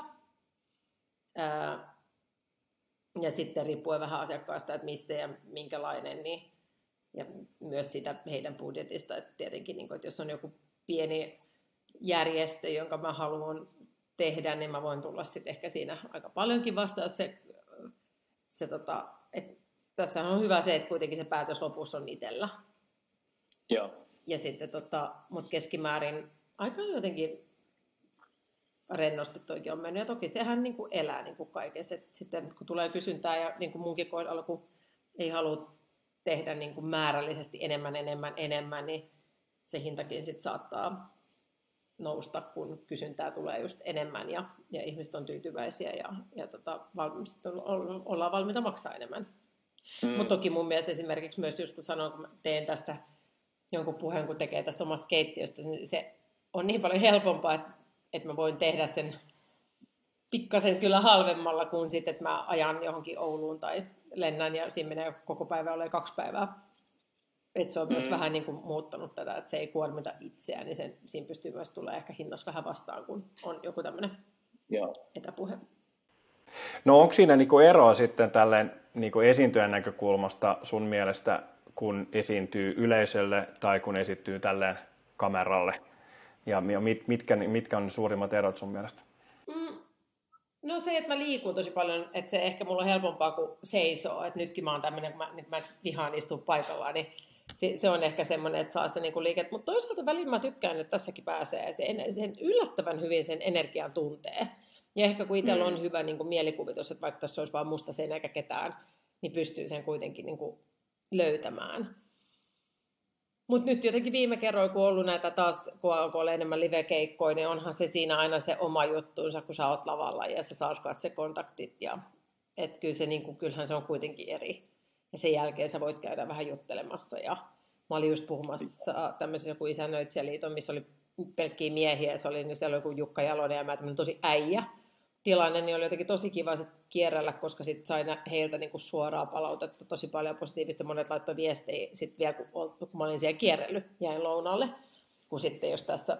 Mutta kyllä toisaalta näissä etäpuheissakin on se, että siinä on se chatti, niin siihen on jotenkin hirveän helppo sit laittaa, että hei kiitos, mahtavaa näin, mitä sitten välttämättä tuommoisessa niin live-puhekeikassa ei tuu, kun se chatti ei mm. ole. Että, että se chattikin on usein antanut, että siinä näkeekin, että on saanut niin todella ihanaa palautetta siinä saman tien ja tulee niitä niin kuin läppäsyjä, tapatuksia ja sydämiä tämmöisiä, niin sekin niin kuin on, on toiminut ihan yllättävän hyvin. Että tota, on molemmissa on puolensa. Ja tavallaan mm. parhaimmillaan mä näen, että, että saisi tehdä molempia. Et koska koska tota, sit, sitten sit niinku kummastakin nauttii kummasta. Ja, ja tavallaan, että nimenomaan jos se keikka, jos se on kaukana, niin voi tehdä tässä. Ja sitten toisaalta tässä Helsingissähän mielellään mä teen sit yleensä aina sanon, että mä tuun mielellään paikan päälle. No sitten kun sulla on tullut se keikka, mitä reittiä se onkaan tullut, niin, niin millaista esityötä sä teet ja, ja miten paljon sä vuorovaikutat sit asiakkaan kanssa niin kuin ennakkoon ja, ja, ja tule, tuleeko sellaisia, niin kuin, millä tavalla niin kuin asiakas pyytää sulta niin kuin ennakkovalmistelua, että onko se sellainen, niin kuin, no mulla on tämä setti ja mä vedän sen vaaksi niin kuin aina just silleen niin kuin heille päivän ajankohtaiset teemat otettu huomioon. Se riippuu ihan, ihan tosi paljon, että nyt oli joku esimerkiksi joku olisiko ollut mandaattuminen tämmöinen sijoitusjuttu, niin siinä mä periaatteessa niin käsikirjoitin sen koko jutun sit yhtäkkiä, koska olikin ideoita, miten tämä tehdään ja miten teidän tyypit integroidaan, koska mä näin sen ehkä paremmin kuin muut, miten nämä tämä tiede ja sijoittaminen liittyy yhteen, että eihän he olisi osannut sitä tehdä. Ja sitten sit tulikin tosi mielenkiintoinen, että tavallaan tämmöisen sijoitusnäkökulma saatiin niin hyvin sitten sidottua ja heidän asiantuntijat tavallaan tähän neurokemiaan ja rakkaustieteeseen. Mutta sitten tietenkin, jos on peruskeikka, missä on vaan mä, ja mun puhe, niin sitten mä yleensä käyn heidän toiveita ja yleisöä ja vähän tietty tsekkaan firman backgroundeja, mitä siellä on, mikä resonoi heihin paremmin ja, ja tavallaan, että sieltä tulee aina, aina niitä linkkejä ja tavallaan sitä omakohtaisuutta, että kun mullakin vaihtelee siis tosi paljon, että voi olla vaikka tämä mekkifirma tai bestseller ja seuraavan päivänä joku patria, niin, niin tietenkin se niin kuin vaikuttaa siihen. Mutta tietenkin siellä on tietyt elementit, mitkä yleensä pysyvät aika niin kuin myös samana. Ja sitten mä kyteen sitä, että, nykyään mä jätän myös semmoista aika paljon liikkumavaraa, että mä menen sinne, niin mä, ei mulla ole mikään niin kuin ihan lukittu, että näin mä puhun. Että se, no. mä myös tällä hetkellä niin kuin, ehkä toi sitä, sitä semmoista oman intuition hyödyntämistä, että haluaa jotenkin, että, sinä, että se energia, millä sinne menee, niin sit, sit, siitä syntyykin jotain, ehkä mitä ei ole suunnitellut. Ja niin kuin, että ehkä 20 prosenttia puheessa on semmoista niin ainakin liikkumavaraa, että voi olla, että mä kerronkin jonkun tarinan, mitä mä en ole suunnitellut kertovani, koska se tuntuu siinä hetkessä oikealta, tai jätän jotain vaikka pois. Mm. Mikä on semmoinen optimi-aika sun, sun puheelle? No kyllä mä tykkään yleensä puhua niin kuin ehkä 50 minuuttia, ja sitten mä tykkään myös, että siinä on tämmöinen Q&A, koska siinä tulee sitä interaktiivisuutta, ja usein niin kuin vielä syntyy jotain u- u- uutta sitten sen jengin kanssa, ketkä on kuunnellut, ja että mä niin kuin myös pidän siitä, siitä puolesta. Sitten oli ihan hauskoja puheita nyt esimerkiksi tämä semmoista, että se, mulla oli yksi puhe, missä moderaattori, se oli ul- ulkomaille johonkin lääkefirmalle, niin kuin periaatteessa keskeyttikin koko, koko ajan mua. Niin se oli itse asiassa alussa ihan silleen, että mä ärsytti, kun mä ajattelin, että niin kun mä oon valmistunut, mä puhun. Mutta sitten se toimikin tosi hyvin, koska mä päätin, että okei, okay, what can I do? Ja sitten siitä tulikin ihan erilainen, kun mä olin suunnitellut. Että tavallaan ehkä tämmöinen niin ennalta-arvaamattomuus on mun mielestä ihan makeata myös välillä. Että ennenhän se olisi ollut silleen, että ehkä mennyt siitä niin kuin jumiin, mutta sitten sit tulikin mun mielestä itse asiassa vaan parempi, kun pääsikin reagoimaan. Ja toki niin kuin yleensä tässä vaiheessa osaa niihin kysymyksiin vastata, niin kuin, että on silleen tuossa koulentunut, että tietää, että harva niin kuin, kysymys vetäisi jotenkin ihan, ihan lukkoon tai näin. Mm. Ja sitten myös se, että ehkä semmoinen, että on tullut sellaista varmuutta, että voisi myös sanoa, että, mä, en, mä en osaa sanoa tähän. Tämä ei ole niin mun, niin kuin myös se, että ei enää pelkää sitä, että mä olin jostain toisen lääkefirmalla puhumassa ja sieltä tulee aika kinkkisiä kysymyksiä. Myös varmaan semmoista, mikä ei ole niin kuin mun osaamista. Niin sit myös voi vastata, tiedätkö, että ei tarvitse myös esittää sitä, että on joku niin tietää kaiken kaikesta, niin kuin tuossa puhuttiin. Että tota, et, et, et sekin on ollut ehkä semmoinen ihan hyvä itselle oppi, ettei niin tarvitse hävetä sitä, että ei kaikesta tarvitse kaikkien tietää kaikkia. Ähm, katsotko tai nauhoitatko sun esityksiä tai nauhoitatko sun esityksiä ja katsotko niitä jälkikäteen? Tosi harvoin, enkä kuuntele mun omia podcasteja. Mm, ehkä pitäisi, ehkä en, mutta en. Ja en mä tiedä, mulla oli ollut joku hirveä Andreen kanssa, josta ollaan puhuttu, että pitäisi tehdä joku koepuhe. Tämmöinen mua niin ää, ärsyttää se idea ja ahdistaa se idea ja, ja tota, se varmaan olisi niin kuin tosi hyödyllistä, mutta mä mietin myös semmoinen kuin puheen käsikirjoittaminen, optimointi. Tämä itsekin aikoinaan lukenut näitä Talk Like TED-kirjoja ja niin kuin miettinyt sitä täydellistä ja tämmöistä niin mä itse jotenkin uskon, että se koko ajan muovautuu siinä, kun pysyy vaan auki ja niin kuin kehittää ja oppii ja niin kuin lisää ja niin kuin se oma tarina kehittyy samalla, niin se puhekin jalostuu. Mä toivon mm. myös ilman semmoista, että se niin kuin koneellisesti hiotaan täydesti joku ulkopuolelle ja sanoo, että tohon, tohon, tohon, tohon näin. Et sekä että, mutta pitäisi ehkä, ehkä voisin tohon panostaa. Mun piti viime vuonna panostaa, sitten tuli joku lukko. Enkä panostanutkaan niin kuin semmoiseen, että, nyt, niin kuin, että mulla oli jossain vaiheessa semmoinen, että mä haluan niin kuin, tiedätkö, että jonkun maailman parhaan tyypin niin kuin käsikirjoittaa mukaan tätä ja tehdään siitä niin kuin ihan sairaan hyvää. Sitten mä, sielu meni, niin kuin, tiedätkö sit kun sä alatkin puhua sitä valmiiksi tehtyä jonkun muun NS-jalostamaan, niin ei se niin kuin sit toiminutkaan. Toi vähän niin kuin, että sit se ei, sit sä et ole enää niin kuin true to yourself, tai joku, joku siinä ei toiminut. Et se ehkä otti mulle semmoinen pari askelta taaksepäin tuosta unelmasta tehdä tiimillä sit täydellinen puhe. Et mä jotenkin semmoinen ehkä epätäydellisyys onkin täydellisempää.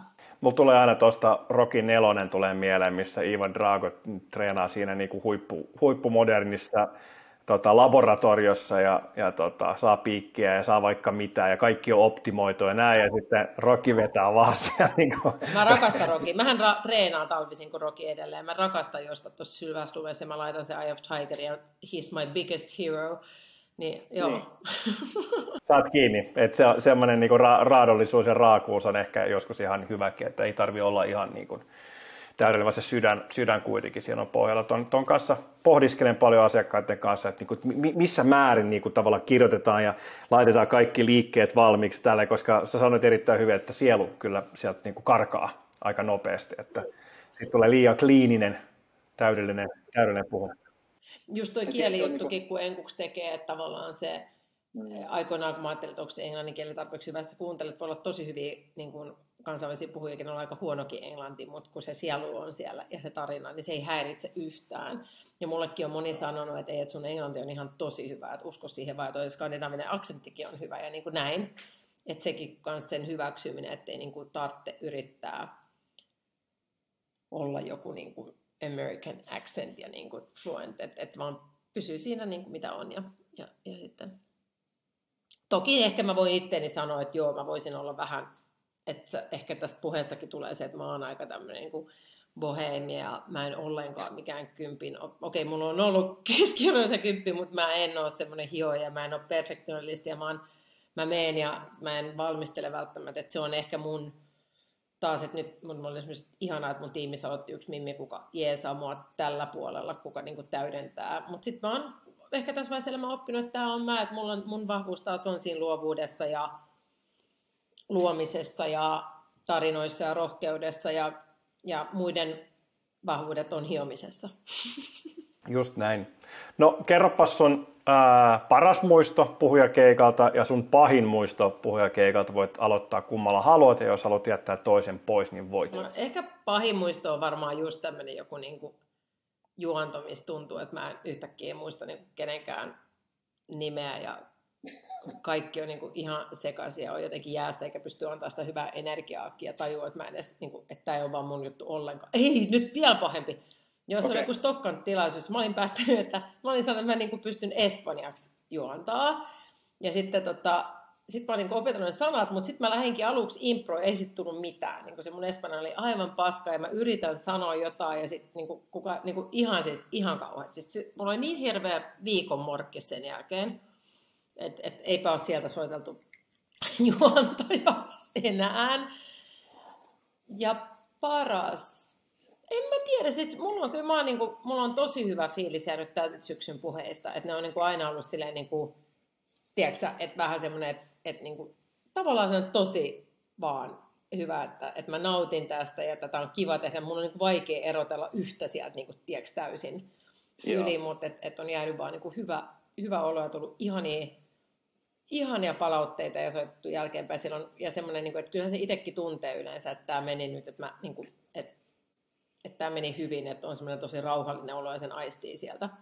Tuosta tuli mieleen, tuosta sun Espanja-hässäkästä tuli mieleen niin kuin Losis-näyttelijät versus Suomi-näyttelijät, että mitä sä laittaa cv että jos, jos Losis-näyttelijä osaa sanoa, että joo, habla espanjol, niin sitten se, sit se laittaa sieltä kielitaidot Espanja, ja sitten taas jos suomalainen näyttelijä on ehkä opiskellut viisi vuotta ja on asunut Espanjassa, mutta ei ole natiivi, niin sitten on silleen, no ehkä mä nyt voisin laittaa sen, mä vähän, vähän puhun. Että, että toi kuulosti just tämmöiset niin kuin losis näyttelijätyyppisestä, että joo joo, kyllä tämä, tämä menee jo. Jongleros neljä pallolla, keikka ensi viikolla, en ole ikinä jonglannut, joo joo, menee ihan helposti, kunhan mä sen keikan saan. Ja sitten mietitään niin kuin paikan päälle, että meneekö, joo joo, ilman satulaa ratsastamista jo onnistuu kyllä.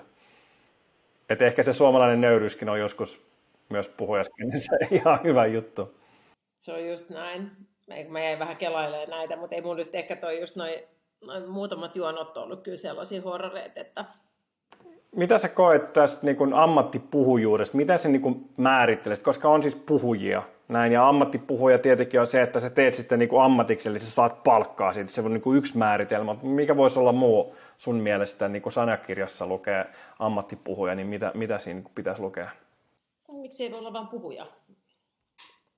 Hmm. En mä tiedä, niin kuin, että, että ammattipuhuja puhuja, että mullakin kun on niin monta, monta tota, juttua, mitä tekee, että mikä sitten mun ammatti on yrittäjä, hmm. ja sitten kuitenkin, että mikä, minkä alle nämä kaikki, kaikki duunit voi mennä, vaikuttajat ja puhujat ja lääkärit ja, ja näyttelijät ja mitä näitä nyt on, mistä niin kuin maksetaan. Ää, niin tota, en, en mä tiedä, että sitten on niitä, ketkä on ammattipuhuja, on, ehkä sitten korostetaan sitä, että se on ehkä ainut asia, mitä tekee, että fokus on täysin siinä. Mm. Ja silloinhan se on ok, mutta mä oon itsekin, niin mä mietin jossain vaiheessa, että, niin kuin, käytäks mä jossain näyttelijä, kun en mä koe olevan, niin silleen niin kuin, että että sit jos mä tekisin vaan näyttelisin, niin kuin anna ja Tuokko, mun ystävä oli tuossa just lounalla, niin hän on mielestäni niin kuin näyttelijä. Hän mm. näyttelee tosi paljon ja on niin kuin ammatti, että mulle niin kuin, se on vähän ristiriitaista, nyt laitoin Instaan, tiedätkö, että näyttelijä, kun tavallaan toisaalta mä oon nyt näyttelijä, mutta sitten kun se mm. just on niin pieni, pieni hitunen, mitä mä teen tällä hetkellä, että se on enemmän kuitenkin harrastusta, kuitenkin kaikella niin kuin kunnioituksella niin oikeita mun mielestä näyttelijät kohtaan, mutta on toikin vähän silleen, just Paula Vesala jossa haastattelussa sanoi sitä, että kun hänkin näyttelee jonkin verran, että sitten ne kommentit, että hei, hienoa, että sä et pilannut tota. Tavallaan heti kun sä et ole niin kuin ammattinäyttelijä, niin sitten niin. laitetaan niin kuin eri lokeroon. Että se, se mun mielestä oli kiva tuossa, kun Lannuppuiset kuoli just jotain arvostelua jossain Hesarissa, että mä olin siellä vaan niin kuin nimi ihan niin kuin nimenä eikä mitään lääkäri tai mm, kenen eksä tai, pupu, tai mitään mm. tämmöisiä, vaan että sitten oltiin arvosteltu ihan niin kuin näyttelijänä, mikä oli tosi kiva ja freshia, Joo. koska sitten taas mediasta ikinä tiedä, mitä siellä niin kuin nostetaan. Okay. Tuo on siinä mielessä mielenkiintoinen ilmiö, koska tämä niin kuin ammattinimike niin kuin, äh, on, on vähän niin kuin pyhitetty niin kuin tietyille ammateille. Ähm, on, on siis ammattimuusikko, ammattinäyttelijä, mutta harvemmin kuulee esimerkiksi ammattiputkimies tai ammattilääkäri. Et sit niinku tietyissä ammateissa on, se on vaan niinku oletus, niin, niin siksi tämä onkin vähän tämmöinen niinku leikki tämän, tämän ammattipuhujan kanssa, että onko, kun ei ole olemassa mitään tutkintoa, ei ole olemassa mitään varsinaista koulua, ää, näin, että mikä on sitten eikö se, se, se silloin, mikä kun sä pystyt niin elättää itse sillä, että eikö se raja mene siinä, mä kokisin ehkä. Mutta sitten moni ammattinäyttelijä ei pysty ehkä elättämään. Ja silti on ammattinäyttelijä, että kun ei ole välttämättä duuni, että tavallaan oikeudellisesti, mutta puhuja, puhujuudessa ehkä se on silleen, että sit oot ammattia puhua, kun sä, kun sä, sulle maksetaan siitä, ehkä se pitäisikin vetää joku numero siihen. Joku, että kun sä, niin. niin sit oot niin Kun sä saat näin paljon, niin sit sä saat kutsua itsesi. Tota, koska mä koen ton saman niin näyttelijänä, siis mä monesti sanon, että mä oon näyttelijä koulutukseltani, koska mä en, mä en niin kuin, olen näyttelijäliiton jäsen ja, ja niin kuin, et, et, et teen, teen niin kuin näyttelijäalan duunia, mutta se ei ole se mun pääfokus, jolloin musta tuntuu välillä ihmeelliseltä kutsua itteni niin kuin ensisijaisesti näyttelijäksi. Kyllä se niin kuin aina tulee siinä keskustelussa niin kuin mukana, mutta tätä on mielenkiintoista, mielenkiintoista niin, mulla on samaton lääkäri, että mä usein sanon, koulutukset lääkäri, mutta mä oon hyvinvoin, kokonaishyvä, kokonaisvaltaisen hyvinvoinnin lähettilästä tai tämmöistä, koska sama juttu, että tällä hetkellä mä teen sitä vastaanottotyötä, kun ihmiset usein kysyvät, että no miten paljon sä teet sitä vastaanottotyötä, ihan kuin se määrittelisi sen, että se on vähän sama, että joku loijeri, että kysytään aina, että no miten paljon sä oot siellä oikeudessa. Että tavallaan, että ihan kuin se olisi se niin kuin yksi, että, no, niin kuin, että et, ja se on ehkä mun mielestä nyt ihan fresh, että se on muuttumassa, koska mun mielestä niin kun niin. lääkärithän voi, on paljon lääkäreitä, ketkä tekee vaikka vakuutusyhtiöistä töistä tai muuta, ei he välttämättä tee sitä vastaanottoa, mutta onhan silti lääkäreitä. Mutta itsellä ehkä kun tekee vähän tämmöisessä uudessa mallissa, niin siihen on saanut yllättävän usein vastata siihen kysymykseen, että miten paljon sä teet, miten paljon tota teet. Nykyään olen päättänyt, että mä en enää itse että mä oon siitä antanut synninpäästö itselleni, että mä teen ihan mitä mua huvittaa ja miten mä koen mulle parhaaksi. Ja mä, kun, jos mä koen sen mulle parhaaksi, niin yleensä se palvelee silloin potilaita ja muitakin ihmisiä parhaiten. Että semmoinen niin kuin, että ei vaan sen takia, että joku olettaa, että sun pitää, mitä mulla pitkään oli se ehkä semmoinen taakka siinä, että koska on lääkäri, niin ei voi tehdä tiettyjä juttuja, pitää tehdä tiettyjä asioita. Ketä sä haluaisit kuulla ammattipuhuja podcastissa? Kenen tarina, kenen perspektiivi, kenen, kenen jutut kiinnostaa? Suomesta vai ulkomaalta? Onko Suomi? Suomesta. Su- jo, jo, ulkomaaltakin voi olla, että puhuu hyvää suomea, kun tämä, tämä on suomenkielinen konsepti. No tota, ehkä vaikka, mä en ole muuten kuunnellut esimerkiksi, niin kuin mä missasin Slashissa, vaikka sanotaan, että tuli mieleen vaikka, että se joku Miki Kuusi, ää, sitten ää, voisi olla se on miettiä, että olisi kiva kuulla niin Sanna Marini, mutta kun se menee aina siihen, että poliitikot joutuu aina menee siihen niin kuin tosi tylsään. Niin kuin ne ei sitten sanokaan mitään. Niin en mä edes halua kuulla ketään poliitikkoa, kun tietää, että sieltä ne ei uskalla sitten sanoa tiettyjä asioita suoraan, mutta mä tykkään hirveästi vaikka kuunnella, voisin kuvitella niin kuin Meeri Koutaniemeä. Mun mielestä hän on, niin kuin, mä en tiedä, onko hän ollut sulla vieraana, ää, miten kenen polku, tämmöisiä jotain niin kuin... Mä olin viime tiistain tällaisessa naisten power, tämmöiset voimanaiset tai joku tämmöinen aamu, niin siellä oli, oli tota, jotenkin siitä on miettinyt taas, mä enemmän tämmöisiä niin yritysjohtajatarinoita, mun mielestä semmoisia voisi olla, voisi olla tota, ne on myös mun mielestä usein inspiroivia ja niin kun, kun ihmiset kertoo niin kun tavallaan sit sen koko matkan, matkan, niin mä mietin, että ketähän sieltä, sieltä oli, kuuntelin siis, mikä hänen sukunimi on tuo Reiman Elina. Tosi hyvä mm. kanssa puhuu, mä oon pari kertaa häntä kuullut, niin, niin tota, mielenkiintoisia tarinoita ja oppeja matkalta. Paljon, paljon ihmisiä Suomi on täynnä kyllä hyviä puhujia ja mielenkiintoisia tarinoita. Siihen, siihen tässäkin konseptissa pyritään tuomaan niitä, niitä esiin. Jos sä nyt aloittaisit puhujana tai ryhtyisit täyspäiväiseksi ammattipuhujaksi, niin, niin mitä sä tekisit toisin? Jos mä aloittaisin tänään. Jos sä nyt tänään aloittaisit tai jos sä tästä hetkestä nyt vaan siirtyisit, minusta tulee täyspäiväinen ammattipuhuja, niin ty, ty, ty, ty, miten sä ottaisit kentän haltuun? Ehkä mä olisin mahdollisimman niin kuin, rehellinen ja niin kuin, panostaisin siihen omaan, omaan ääneen. Et miettisin, että, että niin kuin sanotaan, niin kuin, että just että kirjoittaessakin, että kirjoita niin kuin mahdollisimman tarkasti asioista, jotka niin kuin, koskettaa, niin vähän sama ehkä puheessakin, että puhu mahdollisimman rehellisesti asioista, jotka sä koet merkityksellisesti. Tällä niin kuin, lähde matkimaan jotain muuta, vaan tee sitä ihan omaa, omaa. Ehkä se olisi se ohje. Se on hyvä, se on hyvä vastaus, hyvä ajatus. Hyvä tavoite. Mitä sä haluaisit puhujana sanoa asiakkaille kautta tapahtuman järjestäjille, miten ne voisi tehdä eri tavalla, että sinä voisit puhujana tehdä työsi mahdollisimman hyvin? Mun mielestä aika hyvin siis ihmiset yleensä hoitaa duuninsa niillä, niillä tota, korteilla, mitkä on kädessä, niin kuin, että en mä ehkä tota, mä, mä tykkään akustiikka, valaistus on semmoisia, että mä niin kun, puhuja valaiseminen on tosi tärkeää ja sitä Suomessa on aika huonoin valaisee, että se kuitenkin vaikuttaa siihen kokemukseen sinne katsojalle myös. että Suomessa niin kun myös monissa kuvauksissakin huomaa, että siihen valaisemiseen voisi ehkä vähän panostaa, että, että kun menee johonkin lavalle ja tulee suora ylävalo tai jotain semmoista, tiedätkö, ihan niin kuin järkyttävää, niin ehkä tuommoista voi välillä voisi vähän vinkata, että miettikää, että pieni juttu, että kun nyt kuuluu jotain webinaria, että, että kuvataan ja sitten se joku skriini on maassa, niin eihän se puhuja voi katsoa sinne alas, hän näytät, että sun silmät menee kiinni. Että tavallaan tämmöisiä yksinkertaisilla pienillä asioilla se lopputulos voi olla tosi eri, kun se kamera onkin laitettu vähän ylemmäs ja sinne joku ringlight ympärille tai tämmöistä. J-Lohan kantaa sitä ringlightia aina, ei varmaan turhaan. Et, että tota, niin, koska kuitenkin se on nämä on niitä pieniä isoja asioita. No mitä sä voisit puhujana sanoa muille puhujille, ehkä vinkkejä, ajatuksia, mitä olet oppinut joskus kantapäinkin kautta tässä vuosien varrella ihan aloittelijoille? tai sisäistä ääntä ja jos joku kuulostaa, että ei tee mielen, älä tee ja mene niin kuin sitä rakkautta kohti, eli sitä mikä tuntuu oikealta sydämessä. Että, niin kuin itsekin sanoin, että muutamat virhekeikat tullut tehtyä, kun joku on pakottanut, ja sitten yleensä se oma mm. ääni olisi ollut oikeasta, että jos tuntuu siltä, että tämä ei ole mun juttu, niin sitten se harvoin on.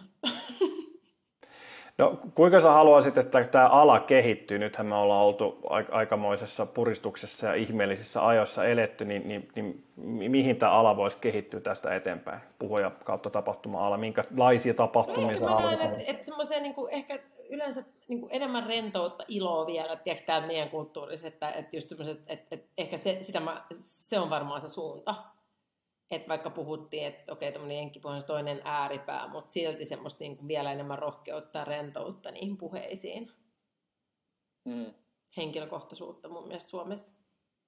Että on paljon puhujia, ketkä ei kuitenkaan, että et, niin kuin, et se aina se liha niiden luiden päälle kuitenkin tulee just niistä, niin kuin puhuttiin, tarinoista ja omasta henkilökohtaisuudesta, Niinpä. niistä rohkeasti. Niin aika paljon keskitytään kuitenkin siihen substanssiin ja sitten se subjektiivisuus jää, jää helposti vähän vähän sivuun. Joo. No jos sulla olisi korvanappiyhteys meidän päättäjiin, niin mitä sä haluaisit sanoa heille, mitä sä oot mieltä näistä rajoituksista, jotka on aika voimakkaastikin vaikuttanut meidän, meidän toimialaan?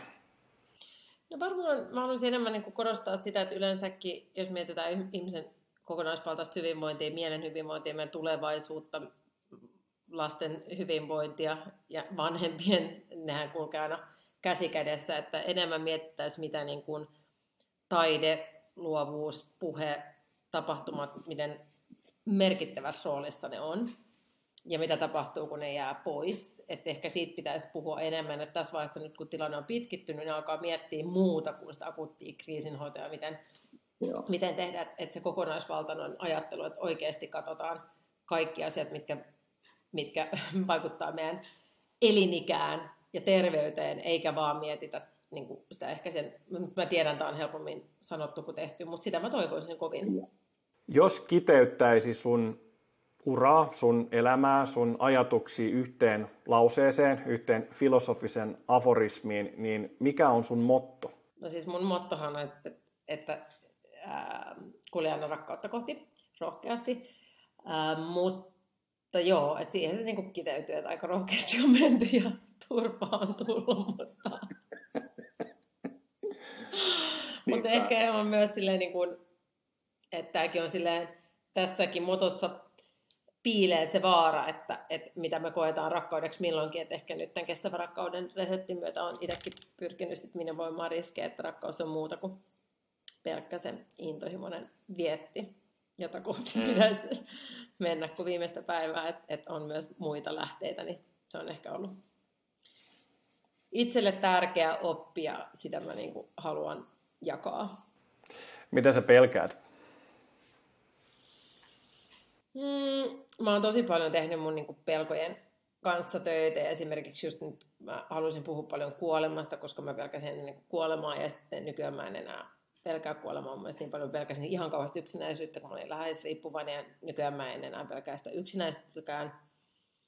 Mä ää, pelkään, että on tietenkin semmoisia asioita, että, mutta mä en jos mä takaisin kaivaa, niin kaikissahan meillä on asioita, mitä me pelätään, mutta näin, tällä hetkellä mä en anna pelolle mun arjessa hirveästi niin kuin tilaa. Et se on ehkä mun ollut tärkein, koska se pelon tunne me pystytään kuitenkin, että se on ehkä, jos mä käännän tämän kysymyksen siihen, että mä mm-hmm. oon tosi paljon keskittynyt niin kuin sammuttelee pelkoja, turhia pelkoja, tämmöisiä, että mä niin kuin, en mieti pelkoa paljon mm. mun elämässä tällä hetkellä. Ehkä kun on ollut niin pelottavaa, niin on ollut pakko sammutella niitä niin paljon, että tehdä töitä. Et koska mm. tavallaan on mennyt ehkä semmoinen, että, että asiat menee niin kuin niin on tarkoitus mennä. Että siellä on aina joku tarkoitus ja joku oppi kuitenkin, niin se on vienyt sitten pelon tosi paljon niin kuin voimaa. No entä mistä sä haaveilet? Annatko niille tilaa?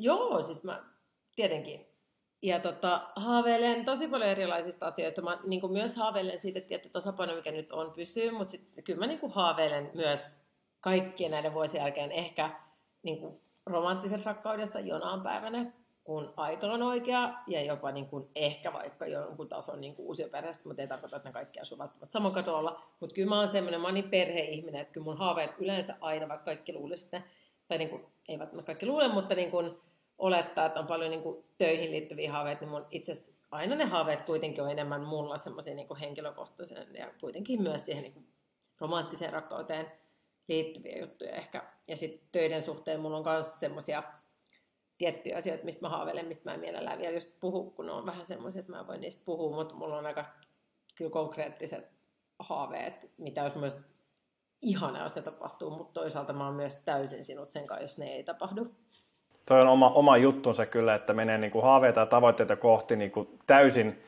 täysin niin kuin sille päättäneenä, että nämä tapahtuu, mutta sitten samalla päästään täysin irti siitä, että tapahtuuko ne vai Ja nyt mä haaveilen tällä hetkellä, että mä pääsen tekemään smoothie, kun Lilja on tuossa vähän valmistautuu kisoihin ja väsyneenä, ja nyt mulla on tosi huono omatunto, kun mä en ole... Sitten mä kysyn sulta vaan viimeisen kysymyksen, tai se ei ole edes kysymys, vaan vapaa sana. Mitä sä haluaisit vielä sanoa tähän loppuun? Terveisiä lähettää, muistuttaa, kehottaa. No mä haluaisin lähettää kaikille ihmisille terveisiä, että ihanaa, että olette A, kuunnellut, jaksanut kuunnella näin pitkään, ja, ja ennen kaikkea ehkä sitä, että me muistetaan, että meidän avaimet meidän omaan hyvinvointiin on meidän omissa käsissä, ja tavallaan kuitenkin se, että vaikka ne on meidän omissa käsissä, niin vaan yhdessä me oikeasti voidaan paremmin. Mä tykkään tosi paljon siitä quoteista, että when replacing I with we, even illness becomes wellness. Että muistuttaa kuitenkin sitä, että me ollaan kaikki yhtä. ja, ja lähettää tosi paljon positiivista energiaa, ihanaa joulun aikaa ja myös ehkä sitä, että pidetään ne odotukset, niin kun otetaan joulu semmoisen kuin se tulee, ei stressata turhista asioista, koska itsekin kantapään kautta oppineena olen huomannut, että varsinkin tässä maailmantilanteessa me ei hirveästi voida vaikuttaa sitä, mitä meidän ympärillä tapahtuu, mutta me voidaan vaikuttaa siihen, miten me itse se niin kuin hyväksytään ja miten me se kohdataan, niin, niin yritetään ottaa se kaikki, mikä tulee, niin tietynlaisella armollisuudella ja hyvällä fiiliksellä vastaan. Juurikin näin. Jaan tuon ajatuksen hyvin, hyvin syvällä tavalla. Kiitos oikein paljon. Vierailusta oli erittäin mielekästä keskustella ja kaikkea hyvää sulle ja rakkaimmillesi ja hyvää jouluodotusta ja toivottavasti nähdään taas pian pyörteissä. Nähdään pian. Mä lähden vääntää smoothie. No niin, hyvä. Puhumisiin. Moi! Koulutusta, inspiraatiota, vinkkejä ja yhteisöllisyyttä ammatikseen ja ammatissaan puhuvalle. ammattipuhuja.fi